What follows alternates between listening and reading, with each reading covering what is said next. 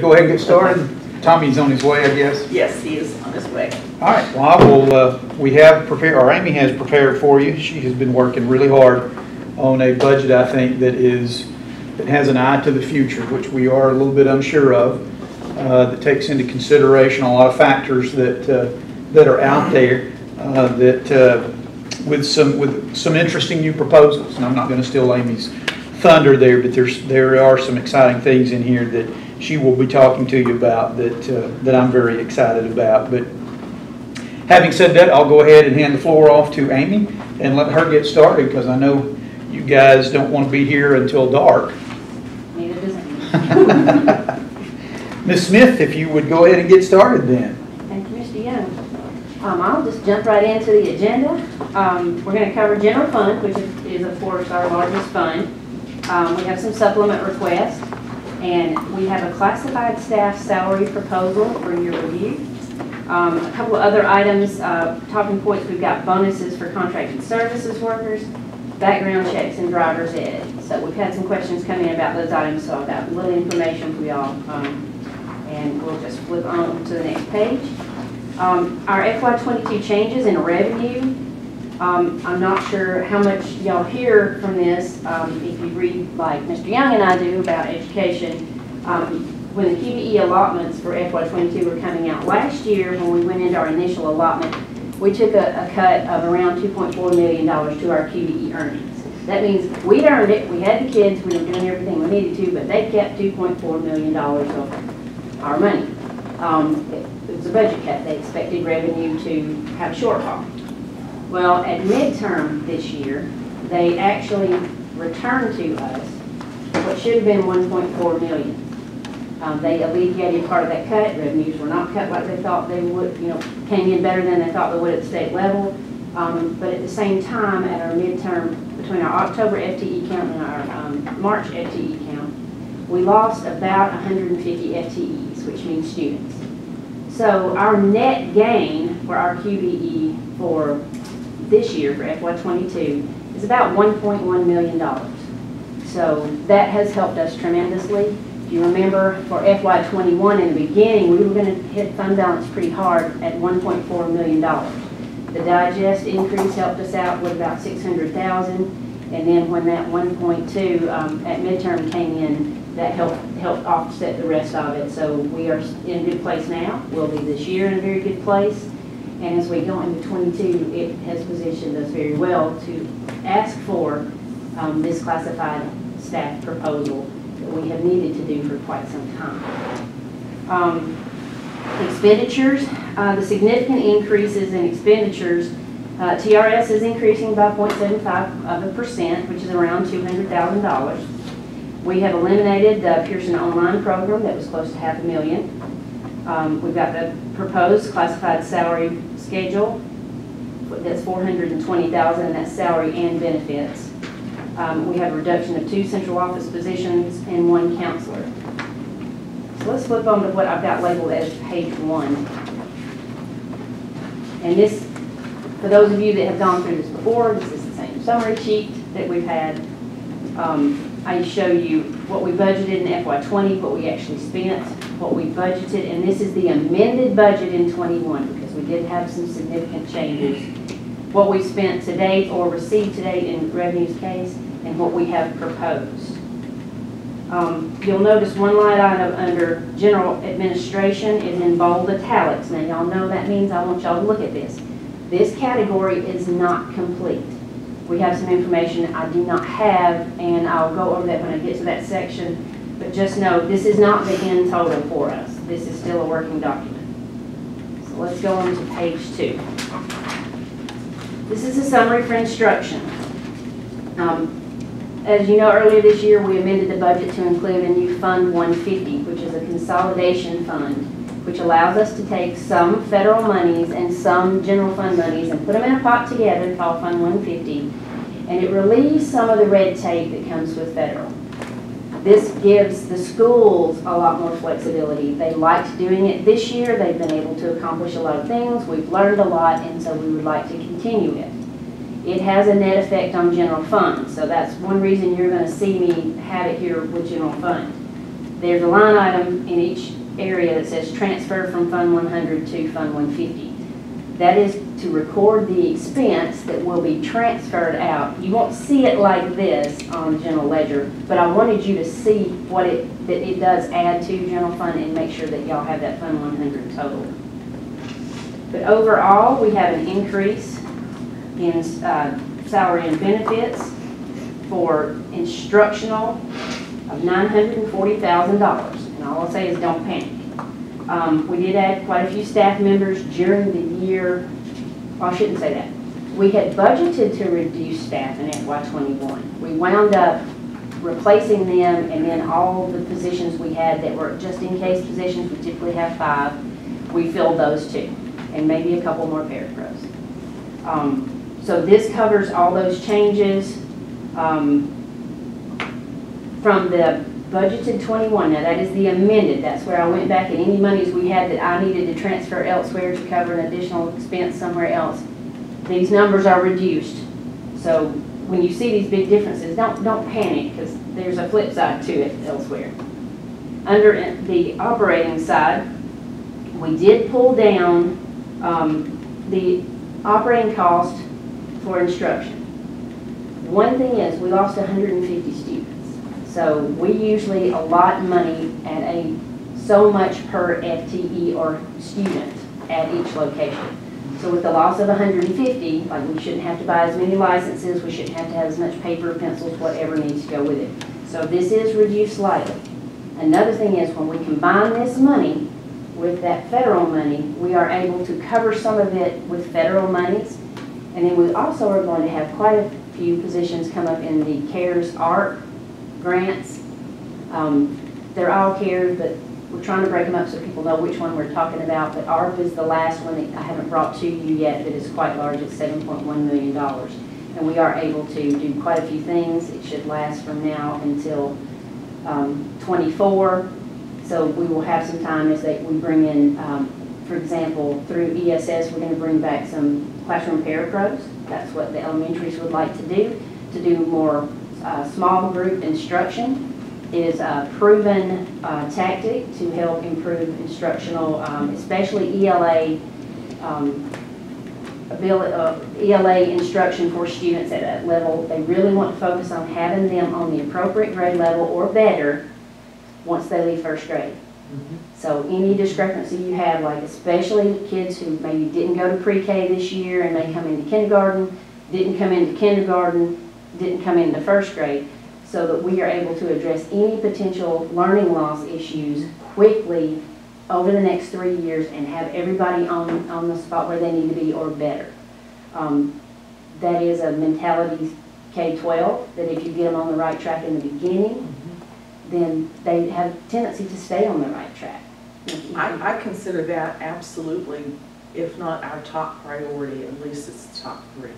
Well, with, um, and I'll, this is actually something for another day, but part of the CARES ARP Act, uh, twenty percent must be spent on what they define as learning loss. So those parapros, and then some additional in-classroom contracted services positions have been requested by almost every school, um, so that they can take care of those learning loss issues, and, um, they've got a plan, um, they're all on board, everybody thinks, you know, from K-12, like I said, that this is the initiative we need to have over the next three years. We do have the opportunity to do it multi-years. If it doesn't work after the first year, if we can, if we need to retool, step back, we have the right to do that. But it does help this budget. It does help those contracted paras, instead of us picking them up in this budget, they're gonna be in those federal monies. That it gives us a lot more folks to put in the classroom, so that the class size and the groups are smaller, um, especially at those lower grade levels. This is great. But overall, salary and benefits and operating, instruction is up seven hundred and sixty-seven thousand dollars. Um, Every year of our certified staff, approximately forty-eight percent are eligible for a step raise, and that's based on the state and local schedule that y'all approve. So just know, in that amount, now countywide, it's about four hundred to four hundred and twenty-five thousand dollars a year. But most of that is concentrated in instruction because that's where we have most of our teachers. Um, without CARES, we're, we should have about three hundred and three teachers, actual in the classroom teachers, or it could be a gifted uh, coordinator who comes into the classroom, works with the classroom. Um, That is two less than we had last year. Just so you know, we haven't cut major staff somewhere. Um, That equates to a two point three five percent increase from the FY twenty-one budget um, for this category. Now, do y'all have questions about instruction? This is by far our largest category. And you said two, um, two positions of the We have, we are, instructional, yes, we have two less positions coming into twenty-two than we are as we end this year. We had some half-time positions and some virtual positions that when you get back to the normal classroom, right, the, the numbers work out. And we still have excellent class sizes, uh, especially at the lower grade levels. okay, great. Let's go to page, all right, page four through, I have to get glasses to see all this. Page four through, instruction, like I said, is the biggest category. Four through thirty-two are by school, by program code, operating budgets for every location. Um, This is that detail. I know y'all probably don't need this type of detail. We have presented this for quite some time. Um, It it does encompass Fund 100 and 150. You will notice the high school does not have 150 because they do not qualify for the federal programs grants. Now, they do qualify for CARES or ARP, but federal programs, when I talk about it, is typically Title 1, 2, 3, um, 1, 2, 3, and 4. Is the Georgia pre-K program part of the budget in instruction or? It is, um, it is part of special revenue that we'll bring next time. It is considered a grant. Now, there is a portion of it we do have to cover in general fund, and it's, it's taken care of in here.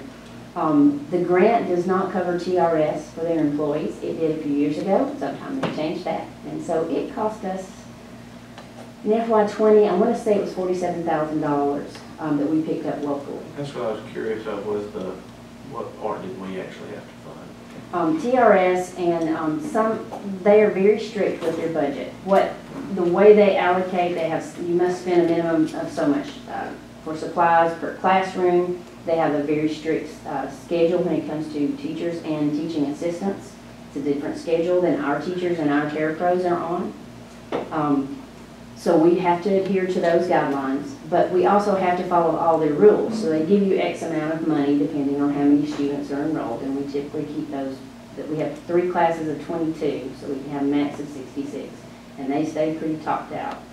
Um, the, like I said, the only thing is a few years ago, they changed the TRS rule where we are picking up the TRS. And we have discovered that if they want to do a school-wide, um, professional learning event, they have professional learning for their staff, and it's very specific too. They must attend the.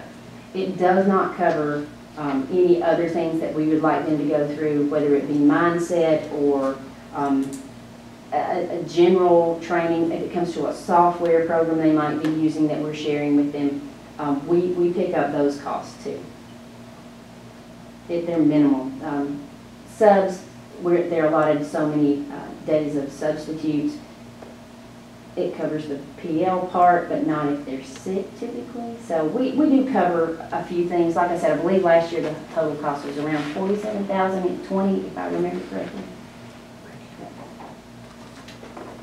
Okay, I know instruction is that giant category, so if y'all have any, any questions, I do want you, when you, when you have time, feel frisky and don't have anything else to do, if you'll look through what our schools are doing, um, you're going to see a difference this year, and Fund one fifty is going to be, um, for basically substitutes, contracted parapros that are through ESS instead of a salaried employee, um, the 150 fund is truly what will be in that classroom, what this, what the schools have asked for, and they are combined with those federal monies.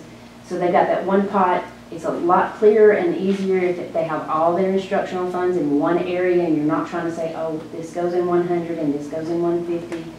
Um, It's all lumped in together. Um, I think the principals and the bookkeepers especially will, this will make it a lot more convenient for them, a lot easier in processing purchase orders, um, a lot clearer where their budget stands at any given time.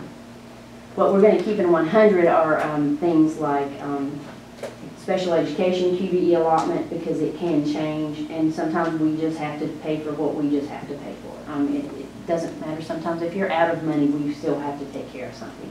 Substitutes have been um, a challenge the last couple of years. During COVID, we really did not spend that much money. Um, obviously, if somebody was working from home and maybe didn't feel good, they didn't necessarily have to have a sub. But we did have situations where we had someone that was quarantined working from home, but we needed a body in a classroom. So it has been one of those things that, uh, it's been a moving target, but we were still way, well within budget for that. We are budgeting as though we are going to be in normal school and will not be sent back and forth. Um, I think that's just a conservative approach to make sure we can cover those expenses. Please God. Um, does- do you have any questions about instruction? Y'all flip to page thirty-three.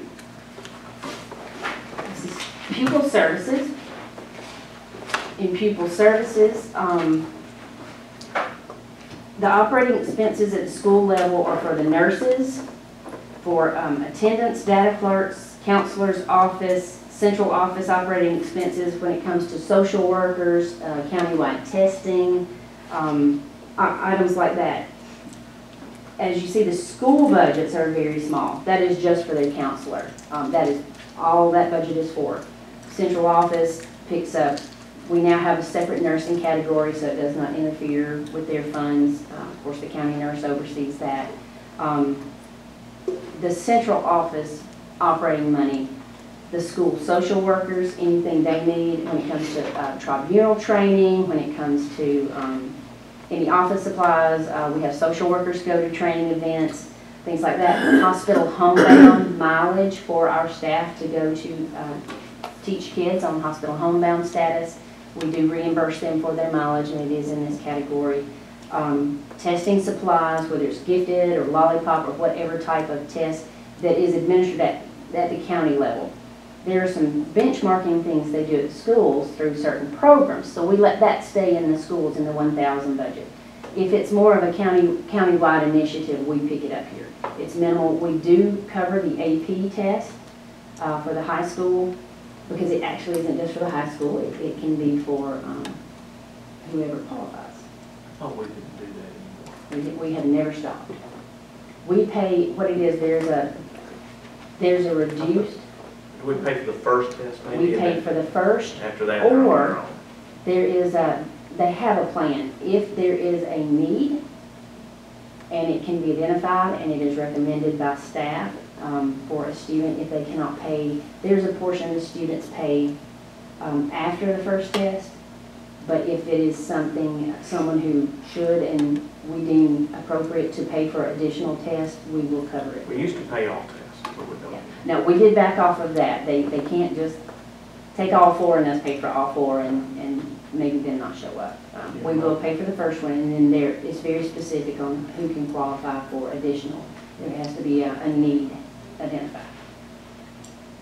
I'm a little surprised, I- I don't care, I'm not fussing about it, but uh, it says OT and PTs are in this category, since OT and PT are, uh, services are in an IEP, I'm, I'm a little surprised that it's under the school category instead of the special education category. Well, all OT and PT is not for sped. Well, that's, that's We true. can, we can have uh, students who do not qualify.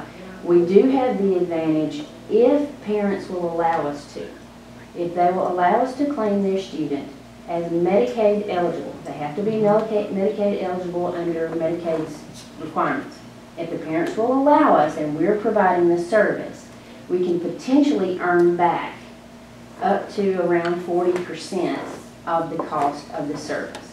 Okay. Now, we have to do um, paperwork, of course, to claim that, but that is in this category. So when, um, when, on the next page, um, you'll actually, see on page 30, oh, y'all, the glasses are becoming a requirement.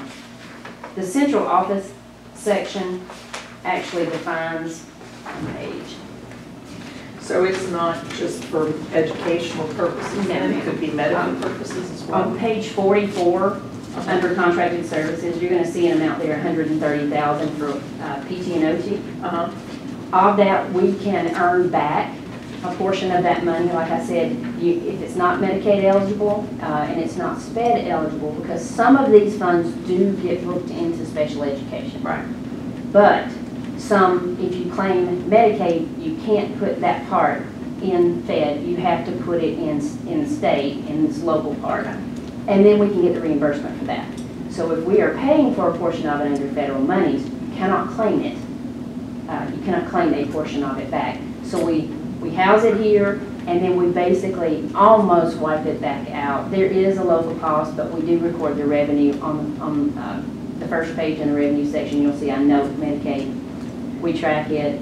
You're never gonna earn it all, because it's just not a program set up that way. You're never gonna have all the students that are Medicaid eligible. But we do try to break down and buffer that cost, so um, the revenue comes in in one area and expense comes in another. So I do have to budget it as an expense, uh, because it is a large item now. And once again, I am so thankful that you're in that seat and I am not. Some, some, I want to answer that question all the time, but, um, okay, go ahead. I know we're bouncing around a little bit, but Yeah, so, when we went to page forty-four, something about okay, the student code of conduct production, yes. it's only eighty-five hundred dollars, but I thought we quit producing code. I thought we provided e-copies now or something. That was discussed the last two or three years. Um, There were some concerns when I spoke, and, and, and I will say, kind of changes with superintendent too. So it does have to do with what we can legally do when we need a disclosure signed and returned. Um, There are some legal issues to do with it. I would probably have to pull somebody in to, to have them explain all the issues that have come up. We have to have a paper copy in each classroom, You have to have one for every. and they have to be available to anybody that wants a paper copy. So we want all staff to have it, all bus drivers to have one on the bus, all students to have access to it if someone walks in. So this was the cost that it was last year. If it turns out that we're not going to do that and we haven't finalized the budget, we can reduce this. But as of last year, we did have this, it was almost exactly eighty-five hundred dollars. I just know we had had this conversation in Kentucky. Right? Yeah. We do them electronic. Yeah, that's what. But I- we're I knew we required had by had some code. paper copies. Yeah, we're required by code to have a certain, a certain number of It's paper kind of copies. like with registration in general, I know a lot of systems do uh, virtual registration now, Mhm. but they still have to offer the availability of getting Yep, paper. and we have to have one in each classroom. I've had paper copy in each And classroom. do we also have one on each bus? I know we give them to every bus driver. We give them, the- yeah, the bus drivers have it. I don't know if they keep it with them on the bus.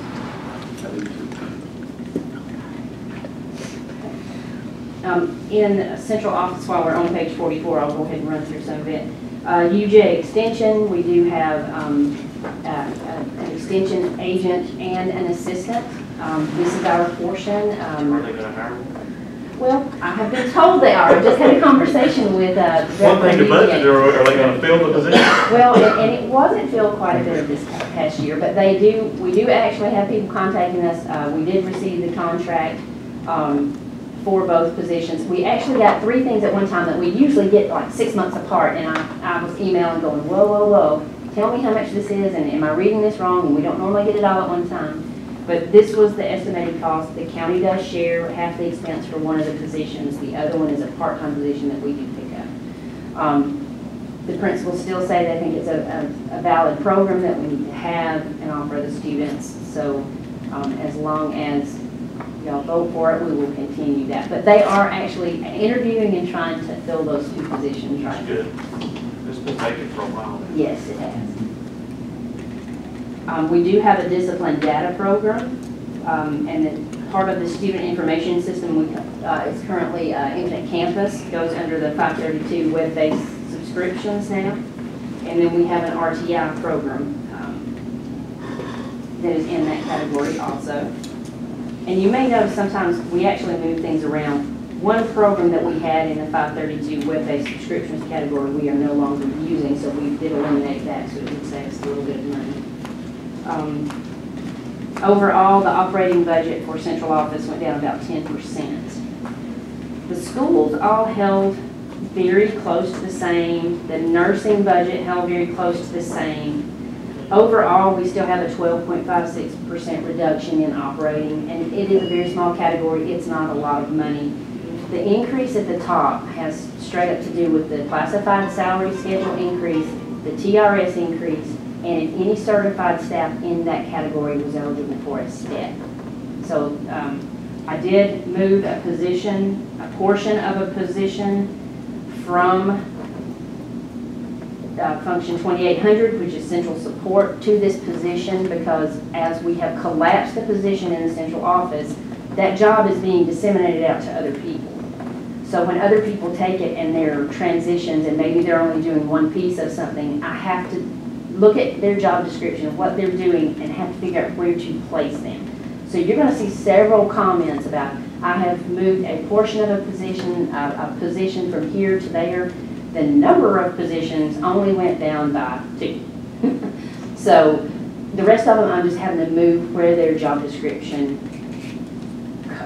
uh, appropriately places them when it comes to state definition. So um, losing the um, chief of accountability and then the assistant superintendent position, those duties have been disseminated out from the staff, so. This is what makes it so very difficult when, when we do get requests from the, from citizens to compare office staff positions Right. from previous years to what we have now, because we're not comparing apples to apples. When, when they've done that before, what I had to do was just, I go through every category and I can pull payroll and look at uh, who's coded to our location. Um, And that's usually how we start the process, is everybody who's linked to our location, I pull them all into one spreadsheet. And then we start to go from there, because they are, they can be spread. You can, I'm coded as business services, but I have people who work under me who are coded to central support, to uh, improvement of instruction. I mean, it's scattered, so you, you do have to, okay, this one's here and this one's here, but we have to stick with the state definition. I'll give you a really strange one. Counselors' supply money is in twenty-one hundred pupil services, but their salary and benefits are in one thousand. That's state rule, not mine. But that's an example of how we ju, we have to follow the rules with this, um, because they consider them instructional support. I thought, well, why they move there? But then supplies for instruction should be directly in the classroom. Where pupil services, it is a support for, like the counselor supplies are a support for the students, so. I won't win that argument with, with the state, but that's how it's defined right now, so that's how we budget it. Yeah. Um, I'm gonna back up to our summary page for 2100 on page. Sorry, I'm, I'm gonna make an index in the future so that we can all keep up with what page. Back to page 33, um, like I said, we had a slight increase in uh, salaries and benefits of 6.82%. The grand total for pupil services is up 3.15%, which is actually $60,112. Okay, Y'all have any other questions on 2100? Nursing, I will just give you an update on nursing. Um, We are keeping certain um, supply items in place um, since we have been dealing with COVID this year. That budget doubled um, in FY '20, excuse me, '21. We are, we cut about $1,300 that had to do with travel, but we're going to leave that in place just in case. Um, It is, it is a place, they take care of replacing all the batteries and the pads on every AED we have in the system. Those are worked into their um, budgets by location. But um, they, they are doing training, but most of it is virtual next year, and they already know that. Um, We will support that, of course. But um, because of the services they provide and the atmosphere we have right now, we feel it's appropriate to leave that money in place. It's twenty-three thousand dollars in the grand scheme of a fifty million dollar budget, so um, that is what we would like to do at this time. I'd rather, I'd rather have it in there and be conservative and, and not need it, right, than to need it and not have it. On page 45, This is improvement of instruction. In the salary and benefit area, this covers your curriculum director, um, a portion of your federal programs director. um, There's certain clerical staff that goes along with this. We actually have three clerical positions. One has to do with special education. A portion of your special education um, department is in this category. As you see, though, we moved a portion of one position. Um, Our federal programs director, because of what's going on uh, with federal programs and CARES and ARP, it has become so massive. Um, We have realized that where we've been picking her up 50% in general fund, 50% in federal, next year is going to be a very different story. She may be as much as 90-10 uh, to the federal side. We have conservatively said 75-25. She and her uh, assistant, who was supposed to be half mine, is now hers. Because what's coming, the paperwork is coming, she is going to, going to need that support. So that is the move portion of the position to federal. So that did help reduce um, the salary and benefits in this category. The operating expenses, you have your technology uh, budget. Now, this is the general fund budget. We will have additional, um, additional technology requests when we come to SPLOST. They usually pick up all the purchase of new equipment, servers, computers, printers, all those things. So this is just anything that is an annual renewable, um, it cannot be in SPLOST. It has to be in general fund. So this is all the annual renewables, and you can see his detail on page 46. He actually, um, his request was reducing his budget by almost 13%. The other operating expense in this category is part of staff development. And it's only the part of staff development that is linked to the salaries of the people who are in 2210. The way state staff development works now, wherever that person is coded as a function code, so like I'm 2500, Mr. Young is 2300, um, uh, personnel is 2800, you actually have to use that function code. So I've had to break apart our $117,000 staff development budget into all the places it should go. Um, And if we go to page 47, instructional staff training, this is a, a, a part that is actually for anyone who's in the classroom, and that can be teachers, parapros, counselors, media specialists, what they consider instructional staff. So that is a portion of our staff development. You're also going to see Fund 150 in this category, and it's for the academic coaches. We have consolidated those academic coaches from federal money, but all this money will actually go out to federal and does not increase Fund 100 in this area. Overall for 2210, it's a reduction of 36,126. Most of that is related to the technology requests being decreased and the portion of the federal programs director being moved to federal. Y'all have any questions on that area? We reviewed page 47, which is instructional staff. Like I said, it is a portion of staff development, and that's usually why I talked about them together. Page 48, um, any given year, this can change radically. If we do an initiative to, train our instructional staff, this number can change. So when it says it goes up or down, it's not a major event. We are given that money. We earn that money. This is part of that, and we are within I believe it was four dollars of what they, um, I just rounded up a little bit so that I stay sane sometimes, but, but, um, we do a lot what we earn. We also can have some additional staff development money, um, it's not state, but at the federal level, um, we may be able to push some more out at the federal level. This year, we are, we have not utilized all of our staff development money. So much of it is, um, for registration and then the, um, travel part. Of course, travel was almost non-existent most of this past year. So um, we have not expended uh, about $40,000 of this year's budget at this time. Now, they still have time till the end of June. Uh, We have had a few more requests coming in recently. Okay, page 49 is media services, and of course, this is for our media centers. The top section, salary and benefits, you'll see an increase of 2.47%.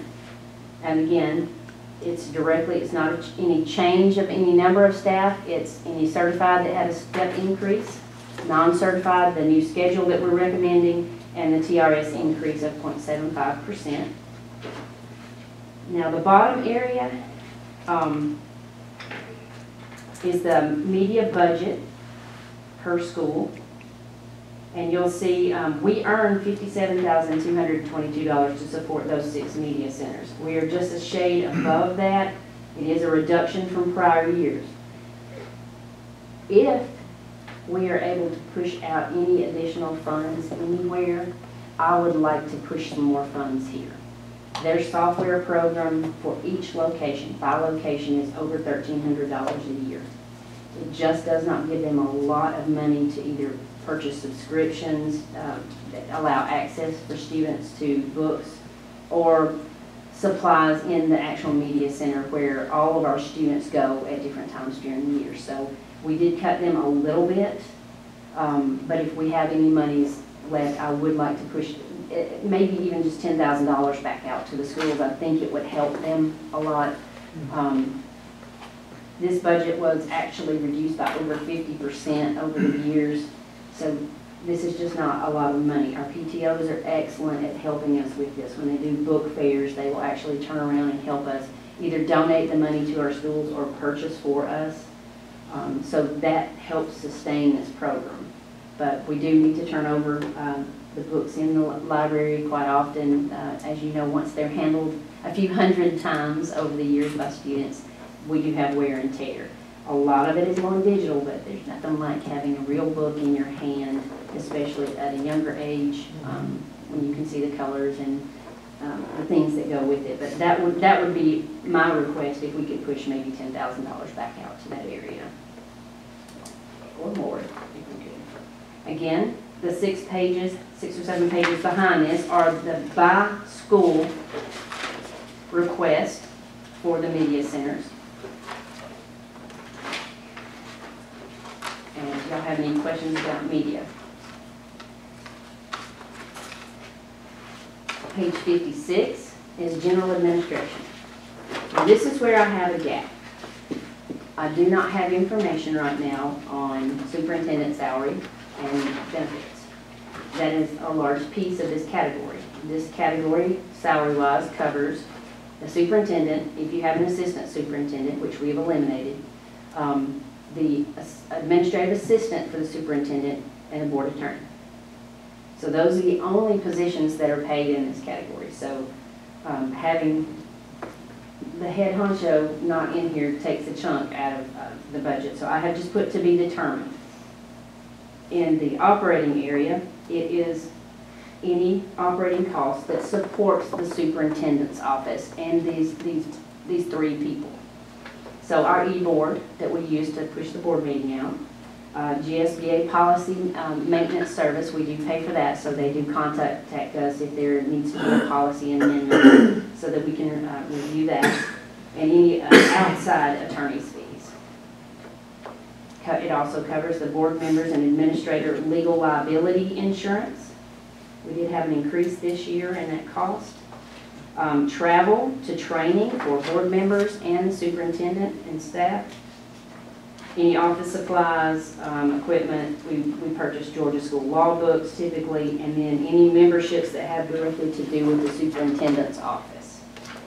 So there was a 0.32 percent increase in operating, but I don't even want to talk about the percentage decrease because we, it is incomplete, and we will need to fill that in, um, before we can actually approve a tentative budget, um, or actually even have our public hearings.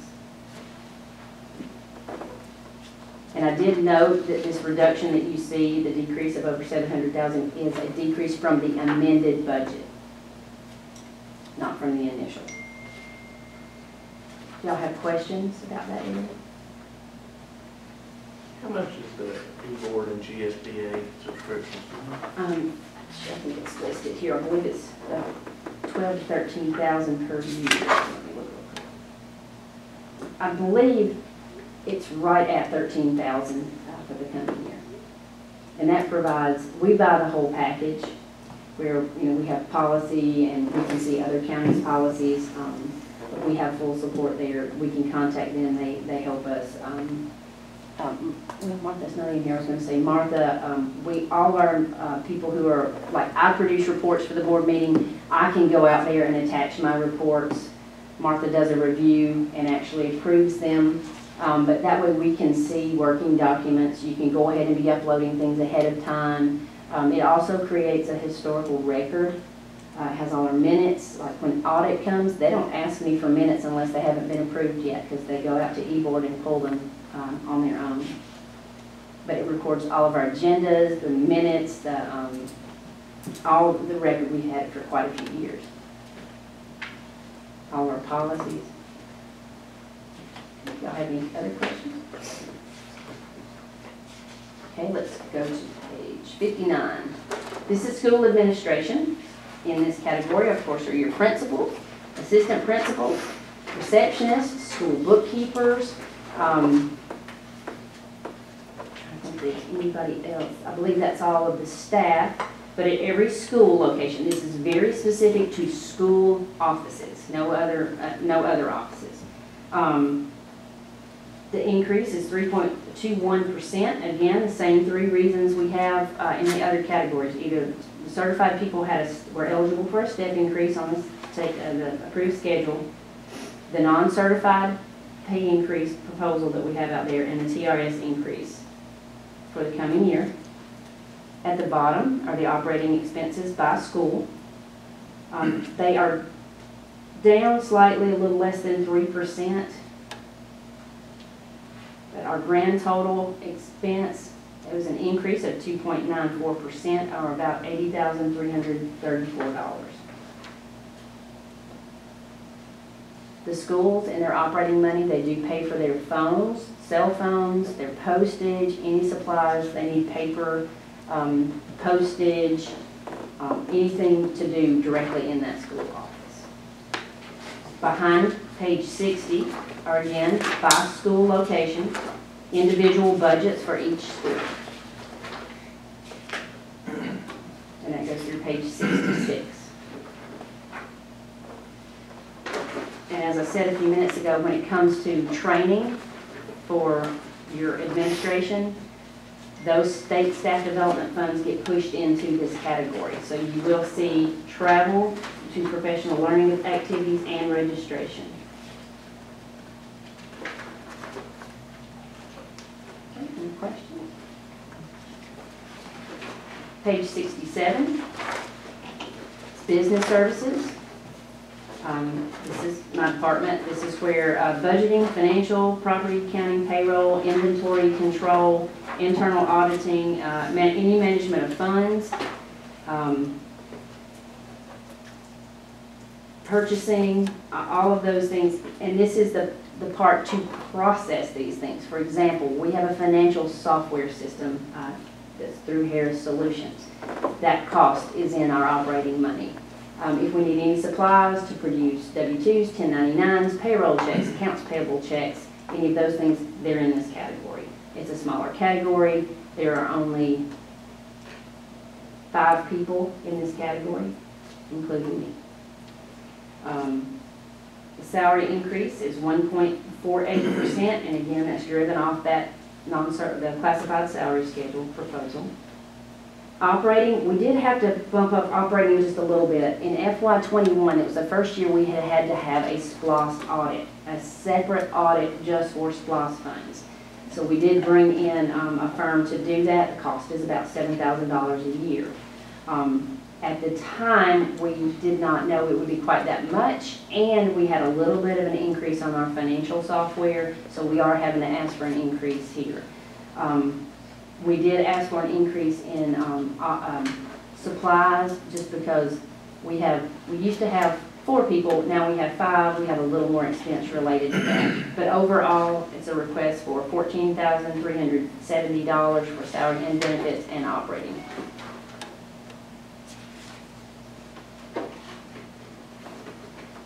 Page sixty-nine. This is maintenance and operations.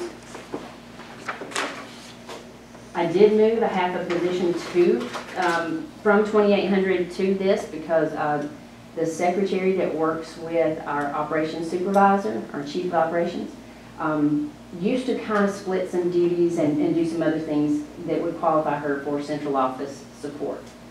Most of the time now, she is mo, she is mainly M and O. Um, because of that, I have moved her.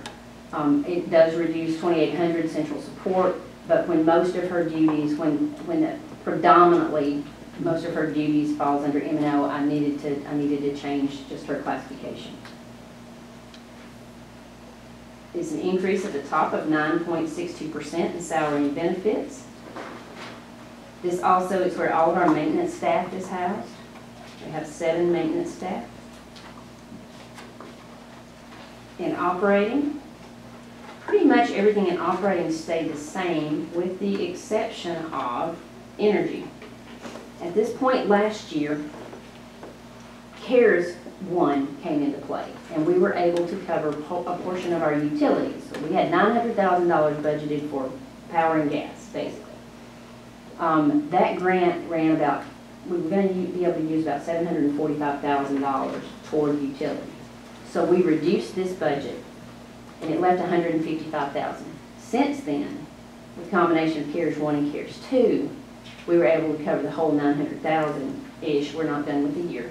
But we will be able to take care of all of it, so we were able to reduce this budget by hundred and fifty-five thousand for that item.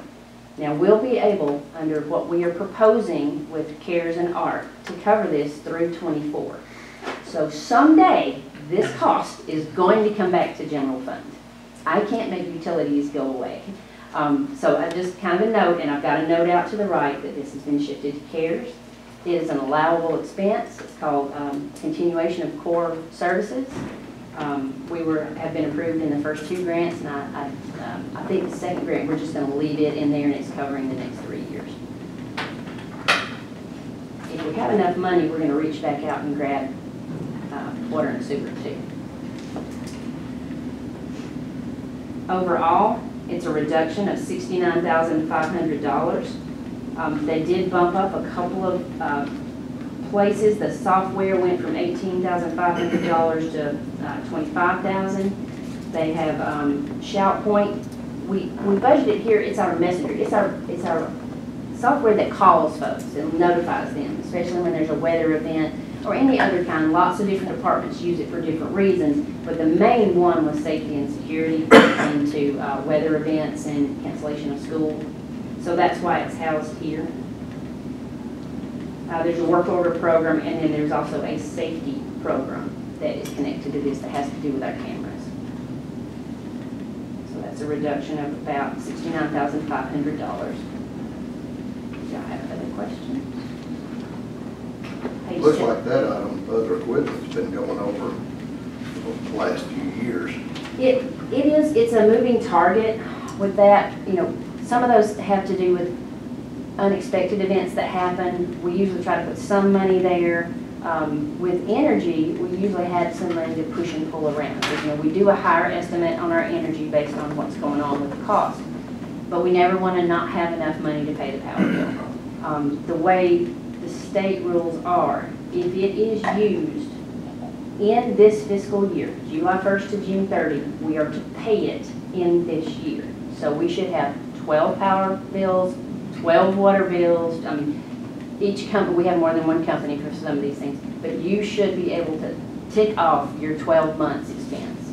Um, So sometimes we need to rent equipment, we need a scissor lift. Um, I know we had a piece of equipment that went down and it was not, where we could not buy something quickly and they needed it for a purpose, and so they did rent a piece of equipment. We try not to do that a whole lot, but we also don't want to buy a thirty thousand dollar piece of equipment if we're gonna use it twice, so. Well, that wouldn't make sense, it's just on the other equipment, the small equipment, it looks like we've been going over consistently in recent years. I'm just wondering if that budget allocation's enough, though it's not a, a huge amount of money, still. Right. Now, these, these, um, what's asked for here is, comes from the department. So they try to anticipate what's coming for the next year. Um, one thing about M and O is there are certain repair and maintenance things that can happen that we can fund out of SPLOST. We will have an M and O budget in SPLOST. So it gives them a little wiggle room. If a major um, event happens, we will always come back and ask for an amendment to either general fund or SPLOST to cover that. But um, at this time, he felt like that was appropriate. I do know they, they have bought a few things the last few years to kind of try to keep that uh, from happening to us, but it's not large equipment. No, that would be like specific tools in a bush, garage, and things like that, diagnostic tools especially. Now, that's coming in the next category. Um, on page 71, we'll just jump into transportation. Salary and benefits, uh, this is to fund 61 drivers, six full-time subs, um, extracurricular activities. Um, We have four mechanics, 10 monitors, four office people, including the supervisor, and four shop gentlemen, uh, including the shop foreman with the new salary schedule, uh, it would create, none of these folks are certified, um, certified as in state certified PSC, but it would cause an increase of 2.78%. In the operating area, this budget stayed almost exact, well, it did say exactly the same. Um, Again, it's one of those things when it comes to fuel, when fuel costs go up, we do have to monitor that. Uh, We've been very comfortable, even though we had our little event recently with fuel. We had just filled up and uh, all our tanks uh, the week before all that happened with the fuel, gas, and the diesel. Um, What we typically do is we'll try to top our tanks off before summer.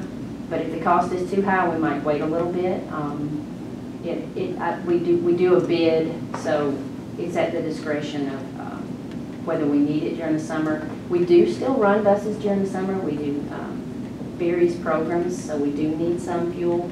But we like to top those tanks off if we can, but if it's too expensive, we won't do it. We'll wait until later to see if the cost will come down. But this is a 2.16% increase, which is $74,625. Page 73. This is central support, so this is a portion of the central office. Um, Office activities other than general administration, which is the superintendent's office, and business services, which is my department, um, are, is mostly for personnel, data processing, strategic planning, development and evaluation. Um, I'll, I'll give you an example of something I think is kind of strange the way they do it, but uh, Director of, Chief of Operations is actually coded in this category. Um, we moved a half a position, which was the assistant for the, uh, for uh, M and O. We did move a half a position out to 2600. We moved a position from object code 190 to 142 because of a change of personnel and job description. And then we also eliminated a position under management. This is where that uh, chief of accountability was budgeted, so that position has been eliminated.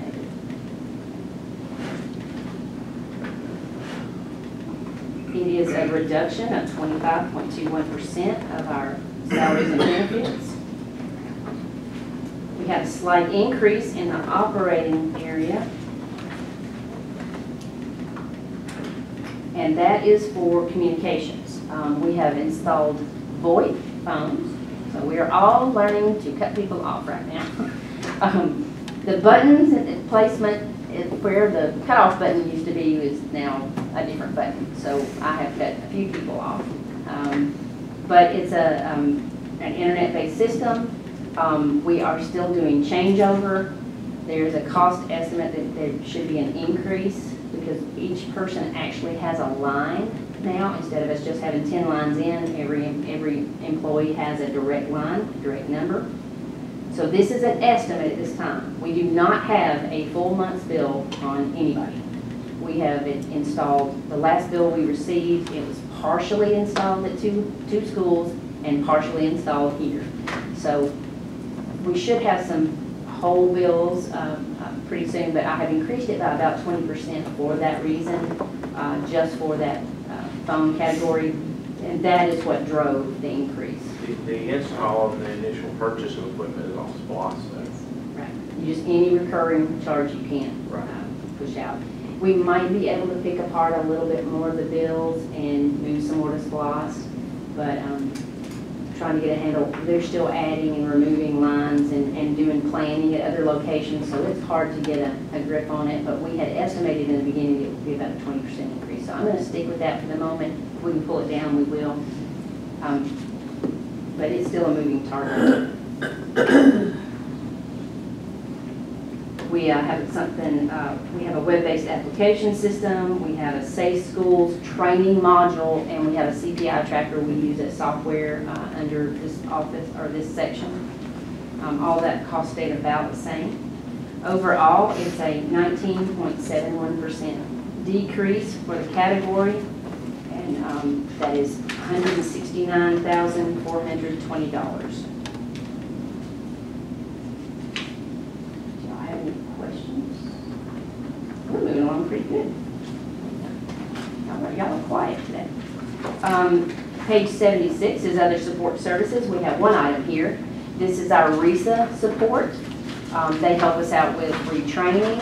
Um, If we need information on our RESA district, we can reach out to them. They provide a lot of essential services. This cost is based on our FTE count, and it, we have been under twenty thousand dollars for years. So, we are safe to, once again, put twenty thousand in that category. Now, before we go to supplements, I want you to jump back to page one.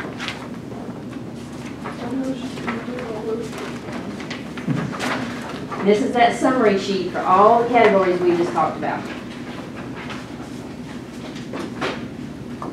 One, as I discussed a little while ago, one thing that helped us this year is we had an increase in our QBE allotment.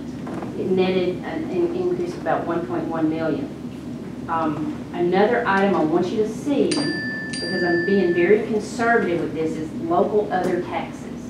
In this category is TAVT, which used to be the motor vehicle tax, um, real estate transfer and intangible tax, which has to do with changes in mortgage and buying and selling of homes. Um, uh, We also have railroad, railroad car equipment and forest land protection, and they stay essentially the same. There has been, we have almost doubled this year what we typically receive in real estate transfer tax and intangible tax. Um, My assumption, knowing the market in the area, is as people refinance their homes for a lower rate, or they buy or sell their home, your, these fees are incurred. It has doubled, maybe more than doubled now. I am concerned about increasing that too much because I don't know the future of what that will be. I looked back over a five-year trend and we have essentially earned almost the exact same amount of money. So I increased it slightly. If I over budget revenue and it doesn't come in, and it matches our expense, then I can't spend money somewhere. And I won't know that until the end of the year. Um, so I was conservative with the increase. TAVT has also increased significantly. So we actually did, we did trends on both these areas, and so I have increased this, this category by six hundred thousand for the year. We will earn more than that in this year, but I'm concerned about it sustaining itself through all of next year. So this is a conservative increase, If there's um, another housing bubble, bottom of the absolutely. We're gonna stay conservative. Absolutely. I just want to make sure whatever we need to expend, that we have the revenue to cover it. I don't want to overextend that revenue. You know, it's like QBE. I, I can be pretty certain that we're going to get what they have told me. They, we have our, our QBE allotment sheet in here on our initial. Um, If something drastic happens, of course, they let us know and we can change our game. But um, with this, because of the market, and I've, I've read quite a few articles, everyone's all over the place with this. There are people that think this will sustain for years, and there are people that think it can't last. So just to protect the system, I have done a very conservative estimate on the increase. I'm even, I, I, I fought with, with this one, and it's one line item, and I fought with it for quite a while. But I think this will keep us safe. Um, I have estimated our revenue for ad valorem at what it was this year, because we do not have a tax digest. Um, You know, we do our budget, when the digest comes in, we do the math problem and, and see what happens. Um, That's what you're supposed to do. So if you come in higher or lower, if it comes in lower, we will need to drop back and, and rethink some things. Um, If it comes in higher because of that real estate transfer tax and intangible tax, that tells me something's moving. Uh, Quite a few sales in the area, there's a lot of building going on. I think the digest will be up again. Um, So we will, we will wait and see. Hopefully we will get that in July or August.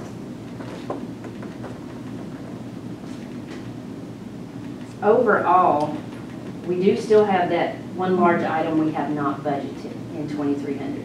Um, We, our expense at this moment is less than what I have budgeted in revenue. It's about $378,000. We do have that one large item. We have a couple of other issues we need to talk about to see if it's something we want to add to the budget. Like I said, and if I have an opportunity, I'd really like to push it out 10,000 back to media if I can. Um, But let's flip over to our other items. Um, Page 77, supplements. Now, behind page 77 through page 85 are supplements. Almost every single one of them are exactly as they were this year, but we have a couple of requests that have come from two schools. Uh, Page 77 details this. Uh, PHS Athletics is requesting the addition of one month to each of the football defensive and offensive coordinator positions. I'm under the impression that y'all have heard this. Is this moving them to eleven months or Yes. moving them from eleven? No, moving them to 11. They, I they, was about to did- say, 'cause I they- thought we'd already moved them to 11. I thought we'd already approved that. Yeah. it, it had not been approved, or I can't find a record of it. So, this is part of I thought, I thought we, that's why I was about to say, you meant moving to twelve months, because I don't, I recall us moving them to eleven. And, Sometime. and if it was 422, I just cannot find, Was it maybe when they, were- if it went through that would personnel. not have been budget, it might have been personnel. Right, but I, I haven't found what I need, so I'm presenting this for 22. This is for the 22 budget. Yes, this is for the 22 budget. This is just to make sure we're covered. But it's still eleven months. Yes, it is moving them from no additional days and a 10-month teacher to an 11-month schedule. They do still get a supplement. All those supplements are reflected on page 78. Um, When I have a change in something, I will put it in bold italics to get your attention. Another thing they wanted to do, uh, that has to do, oh, the addition of two additional months is about $15,400. They would like to remove the PHS Assistant Director supplement of a thousand. And then they wanted to rearrange some of the football um, supplements. And I've got, I've got 21s on page 78 and what they were asking for for 22. Now, this came from the high school athletic, or the county athletic director. It is not increasing any other monies other than adding those two months. They just wanted to rename, reassign tasks, and redistribute the funds. So it's not an additional cost for that part, but to change the name and the amount, I have to present it and y'all have to approve it. And we're not asking for approval today. The other request from high school athletic- athletics is to increase days for the PHS girls and boys head basketball coaches. They currently receive a half month in a supplement, and they, they would like to increase it to a full month in a supplement. And that would add approximately eighty-seven hundred sixty dollars. The total for all requests is a net of twenty-three thousand one sixty, and I've already incorporated it in the budget. And out of that twenty-three, one sixty, I mean, how much is what we had already approved as far as personnel? Because we had already approved the eleven for the two Fifteen, coordinators. fifteen thousand four hundred. So, So it's just uh, 80, it's actually 7760 when you net out the reduction of one supplement. Do y'all have any questions on that? The only other request I have in regards to supplements, uh, Pickens Junior High School would like to request an increase to their yearbook supervisor supplement from five hundred to five hundred dollars a year to seven hundred and fifty. And he would like to add five department chair supplements in the amount of five hundred dollars each. He is, um, developing his departments in a similar manner to the high school. The high school uh, department chairs uh, receive $750, and there are more than five. Um, I believe there are eight. Um, He is going along the same manner, trying to, with his school, trying to get those department heads. They're the ones that reach out to the teachers, like when it comes to budget. He contacts the department head, they go out to each one. It is additional responsibilities um, outside their normal responsibilities as, as a teacher. Um, Like I said, he has asked for that in uh, his yearbook. It is a little more, it is larger. The high school's yearbook supplement is fourteen hundred. K six schools each have a yearbook supervisor um, paid five hundred. This is the second largest school. Um, It does seem to go along with uh, the theme of, all, all these schools are close, very close to the same size. Then PJ is uh, quite a bit bigger, and then the high school, of course, is very large. But altogether, um, Pickens Junior High School's request total about thirty-five hundred thirty-four dollars, and this includes salary and benefits that would be related. All the rest of the supplements you see listed here were already approved in twenty-one, and there are no changes other than on page, we want to change the title on one. On page eighty-one, we have a supplement for virtual and social emotional learning, and we request to change the title to PACE Coordinator. It doesn't change dollar amount, it just changes the title. Y'all have any, any questions about any of the supplements?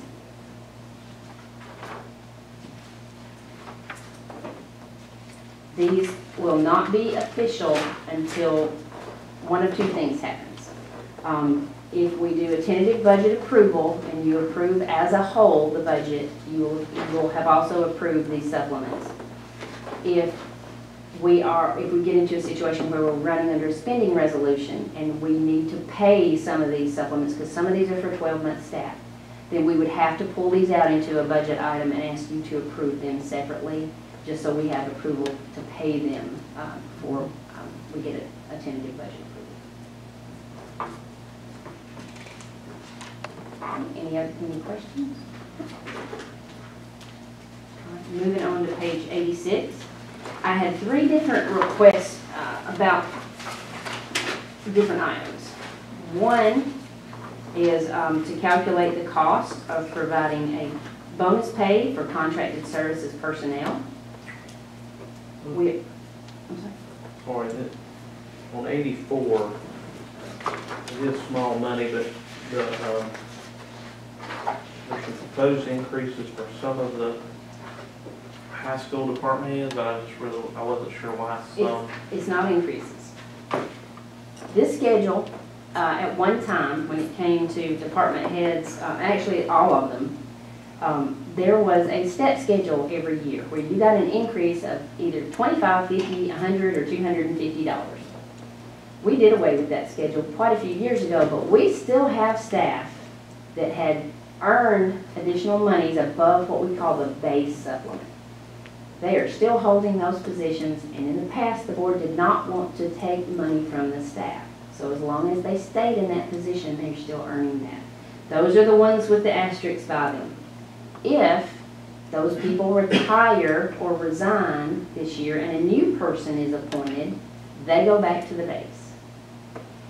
So very slowly, we are eliminating this. I just didn't understand why some were, Yeah, that's.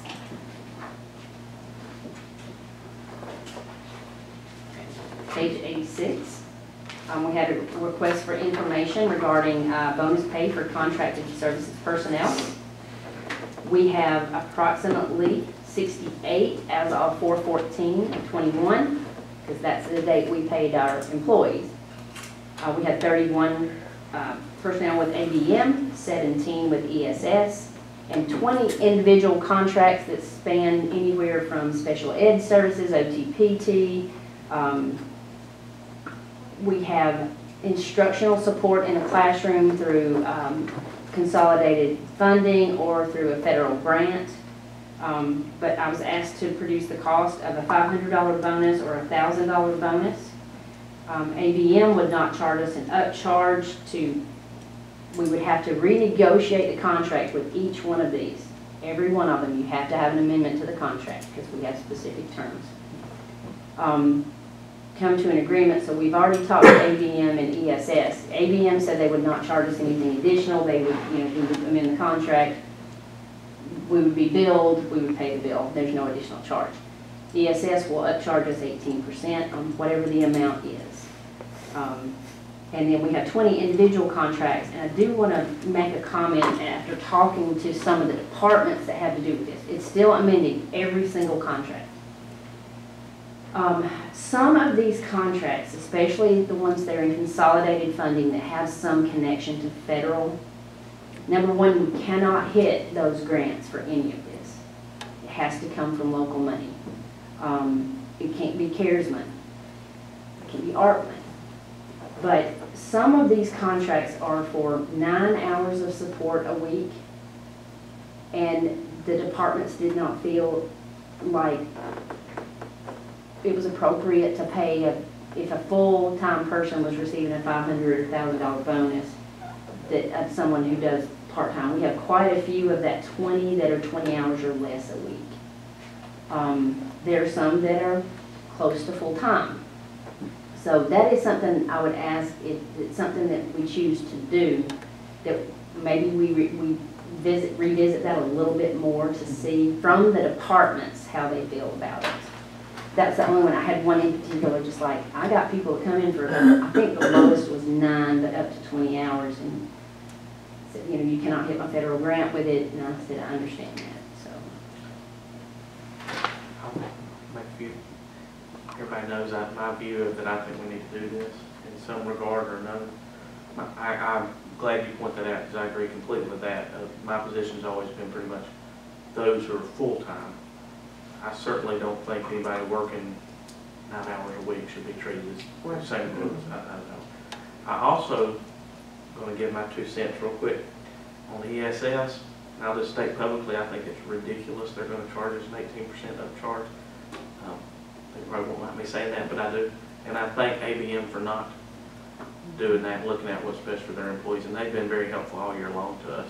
Um, That almost seems like we're giving them a fee, uh, or they're collecting a fee off employees' bonuses, and a pretty sizable exactly fee what's too. true. I mean, I agree completely. Yeah. eighteen percent. I I just don't think that's right. I believe it's called a processing fee. Um, Using them uh, for our substitutes and for our permanent paras, we call them pick paras, um, they do upcharge us uh, a percentage. And that is, so they handle, they handle the hiring and, and insurance and all those things. And that's, I'm aware of how much money we spend them. Um, We could potentially ask them to negotiate with us uh, if it is something the board would like to do.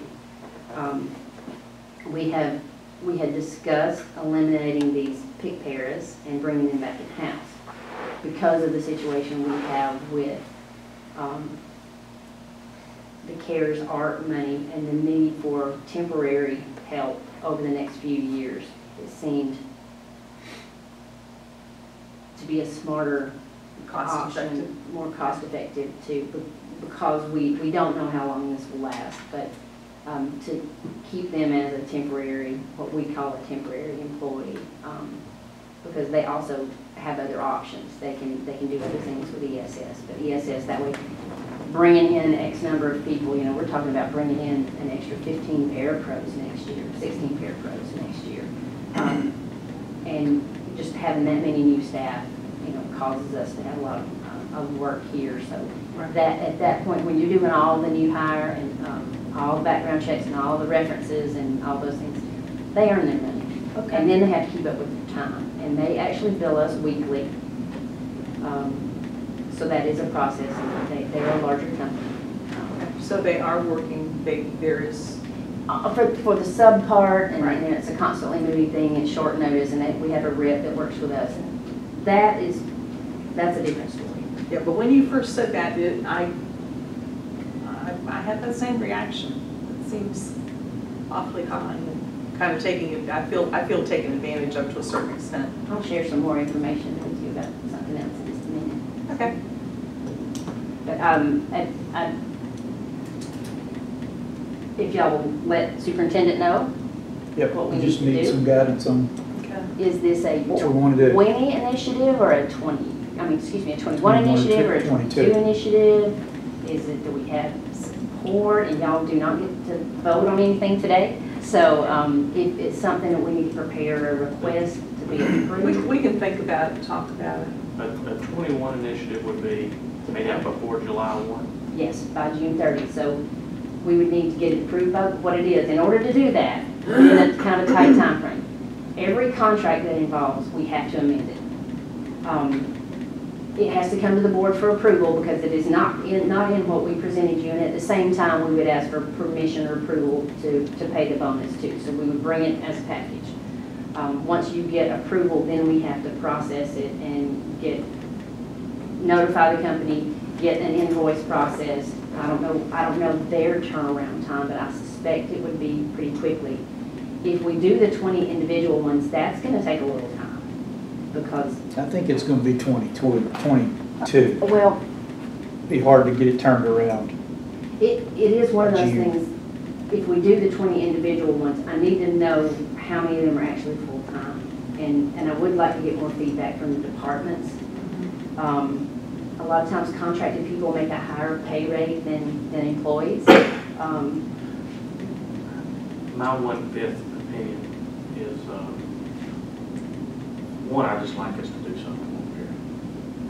And I'm sure they'd be happy if they get in June or July. I think they'll be happy.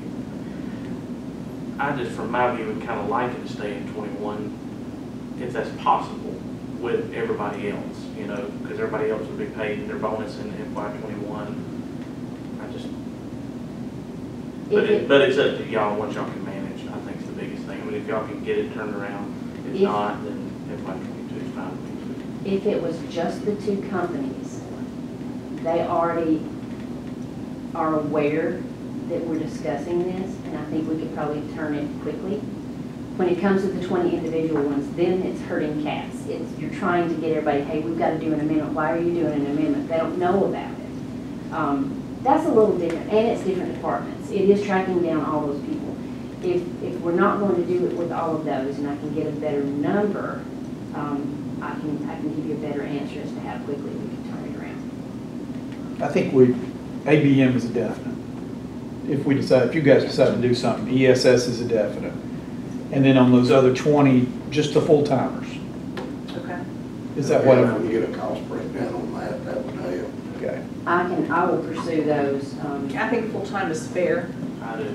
and that's something, it's going into each contract to looking at the terms. Some of these contracts, you may be contracting for 20 hours a month, 20 hours a week. I, it is going into the language, each and every contract, and looking at it and determining if they're full-time, part-time. Could we Um, just say fifty dollars, or, I mean, just pull a number out, of they say fifty dollars, seventy-five dollars, something like that for the part-time people? You can. um, It's still an amendment to the contract. I guess that's where I'm trying to go. It Still And see, creates some- some work for you. Some of these folks, it's May 27th. They will not be back in our buildings until next year. So Okay. if we can't get them, can't. Yeah, I, I see what you're Get saying. Them. Some continue to work during the summer. Um, Yeah, If we get a breakdown on how many are actually full-time, that would make it a lot easier. Yeah. But I definitely want to do make a something decision. full-timers. I think that's going to be a significant, significantly less on the 20. Okay. The only ones that are part-time is in the, that twenty, right? Pardon? The only ones that are part-time are in that twenty, right? I mean, that's every contract that we had open that I could find. All the at that ABM time. and ESS are full-time? Yeah, um, yes, yes. Well, I'm, I honestly, with ABM, I'm assuming they're all full-time because we don't have access to I'm that, but we assuming have the same people that. Yeah. We can get an answer that quick. And, um, if, if y'all choose to do this, do you want to use the same employment date that we did for our employees, which was four fourteen? I think we should, that's, yeah, that would be consistent with it. You had a cutoff date as well, right? Like if, let's say, somebody was a part of that group and they're no longer there, They're not as long as they were there in that window, they'll, um, what, what the state, when we received uh, bonus money, what they said was, as long as they were still actively employed. So if they have quit, say they quit May fifteenth, they didn't get anything. They quit between the time it was approved and we could get the checks out, they didn't get anything. Because we had, we had several people who, um, had resigned in, in March and, and in different dates that if they were not actively employed as of four fourteen, then they didn't, they didn't get a check. But that was state rule. So follow the same guidelines. Yeah, I think so, that's. We'll roll into the next item, and that is not in our budget. It's not in twenty or twenty-ones at this time, so whatever happens there, if, we move on it, we'll have to ask for approval. Background checks. Okay, something came up about background checks. Um, we have, uh, our employees every five years must go get a new background check. I'm up this time too. Um, it's fifty-five dollars, you make an appointment with City Jasper and go over there and they do the check and then our folks go pick them up. Um, I had the question, uh, number one, have we ever paid for these? Yes, we did. We did, they weren't fifty-five dollars, then I believe they were thirty, either twenty-seven or thirty-five or some of both. Um, we had a grant, a safety grant, uh, I think it was Title IV, that paid for it for several years. It was part of the safety grant that, you know, check out our folks, make sure everything's good. The grant went away and we continued to pay it for a few years. We only paid it for employees. Now, we have between 125 and 150 employees every year that need to have a new background check. Um, we have all new employees get, have to get a background check. Anyone who goes to work for ESS has to get a background check. If you volunteer and are with students, if you mentor, if you are a chaperone, you must have a background check. Estimating that number is a little hard because we don't pay for that currently.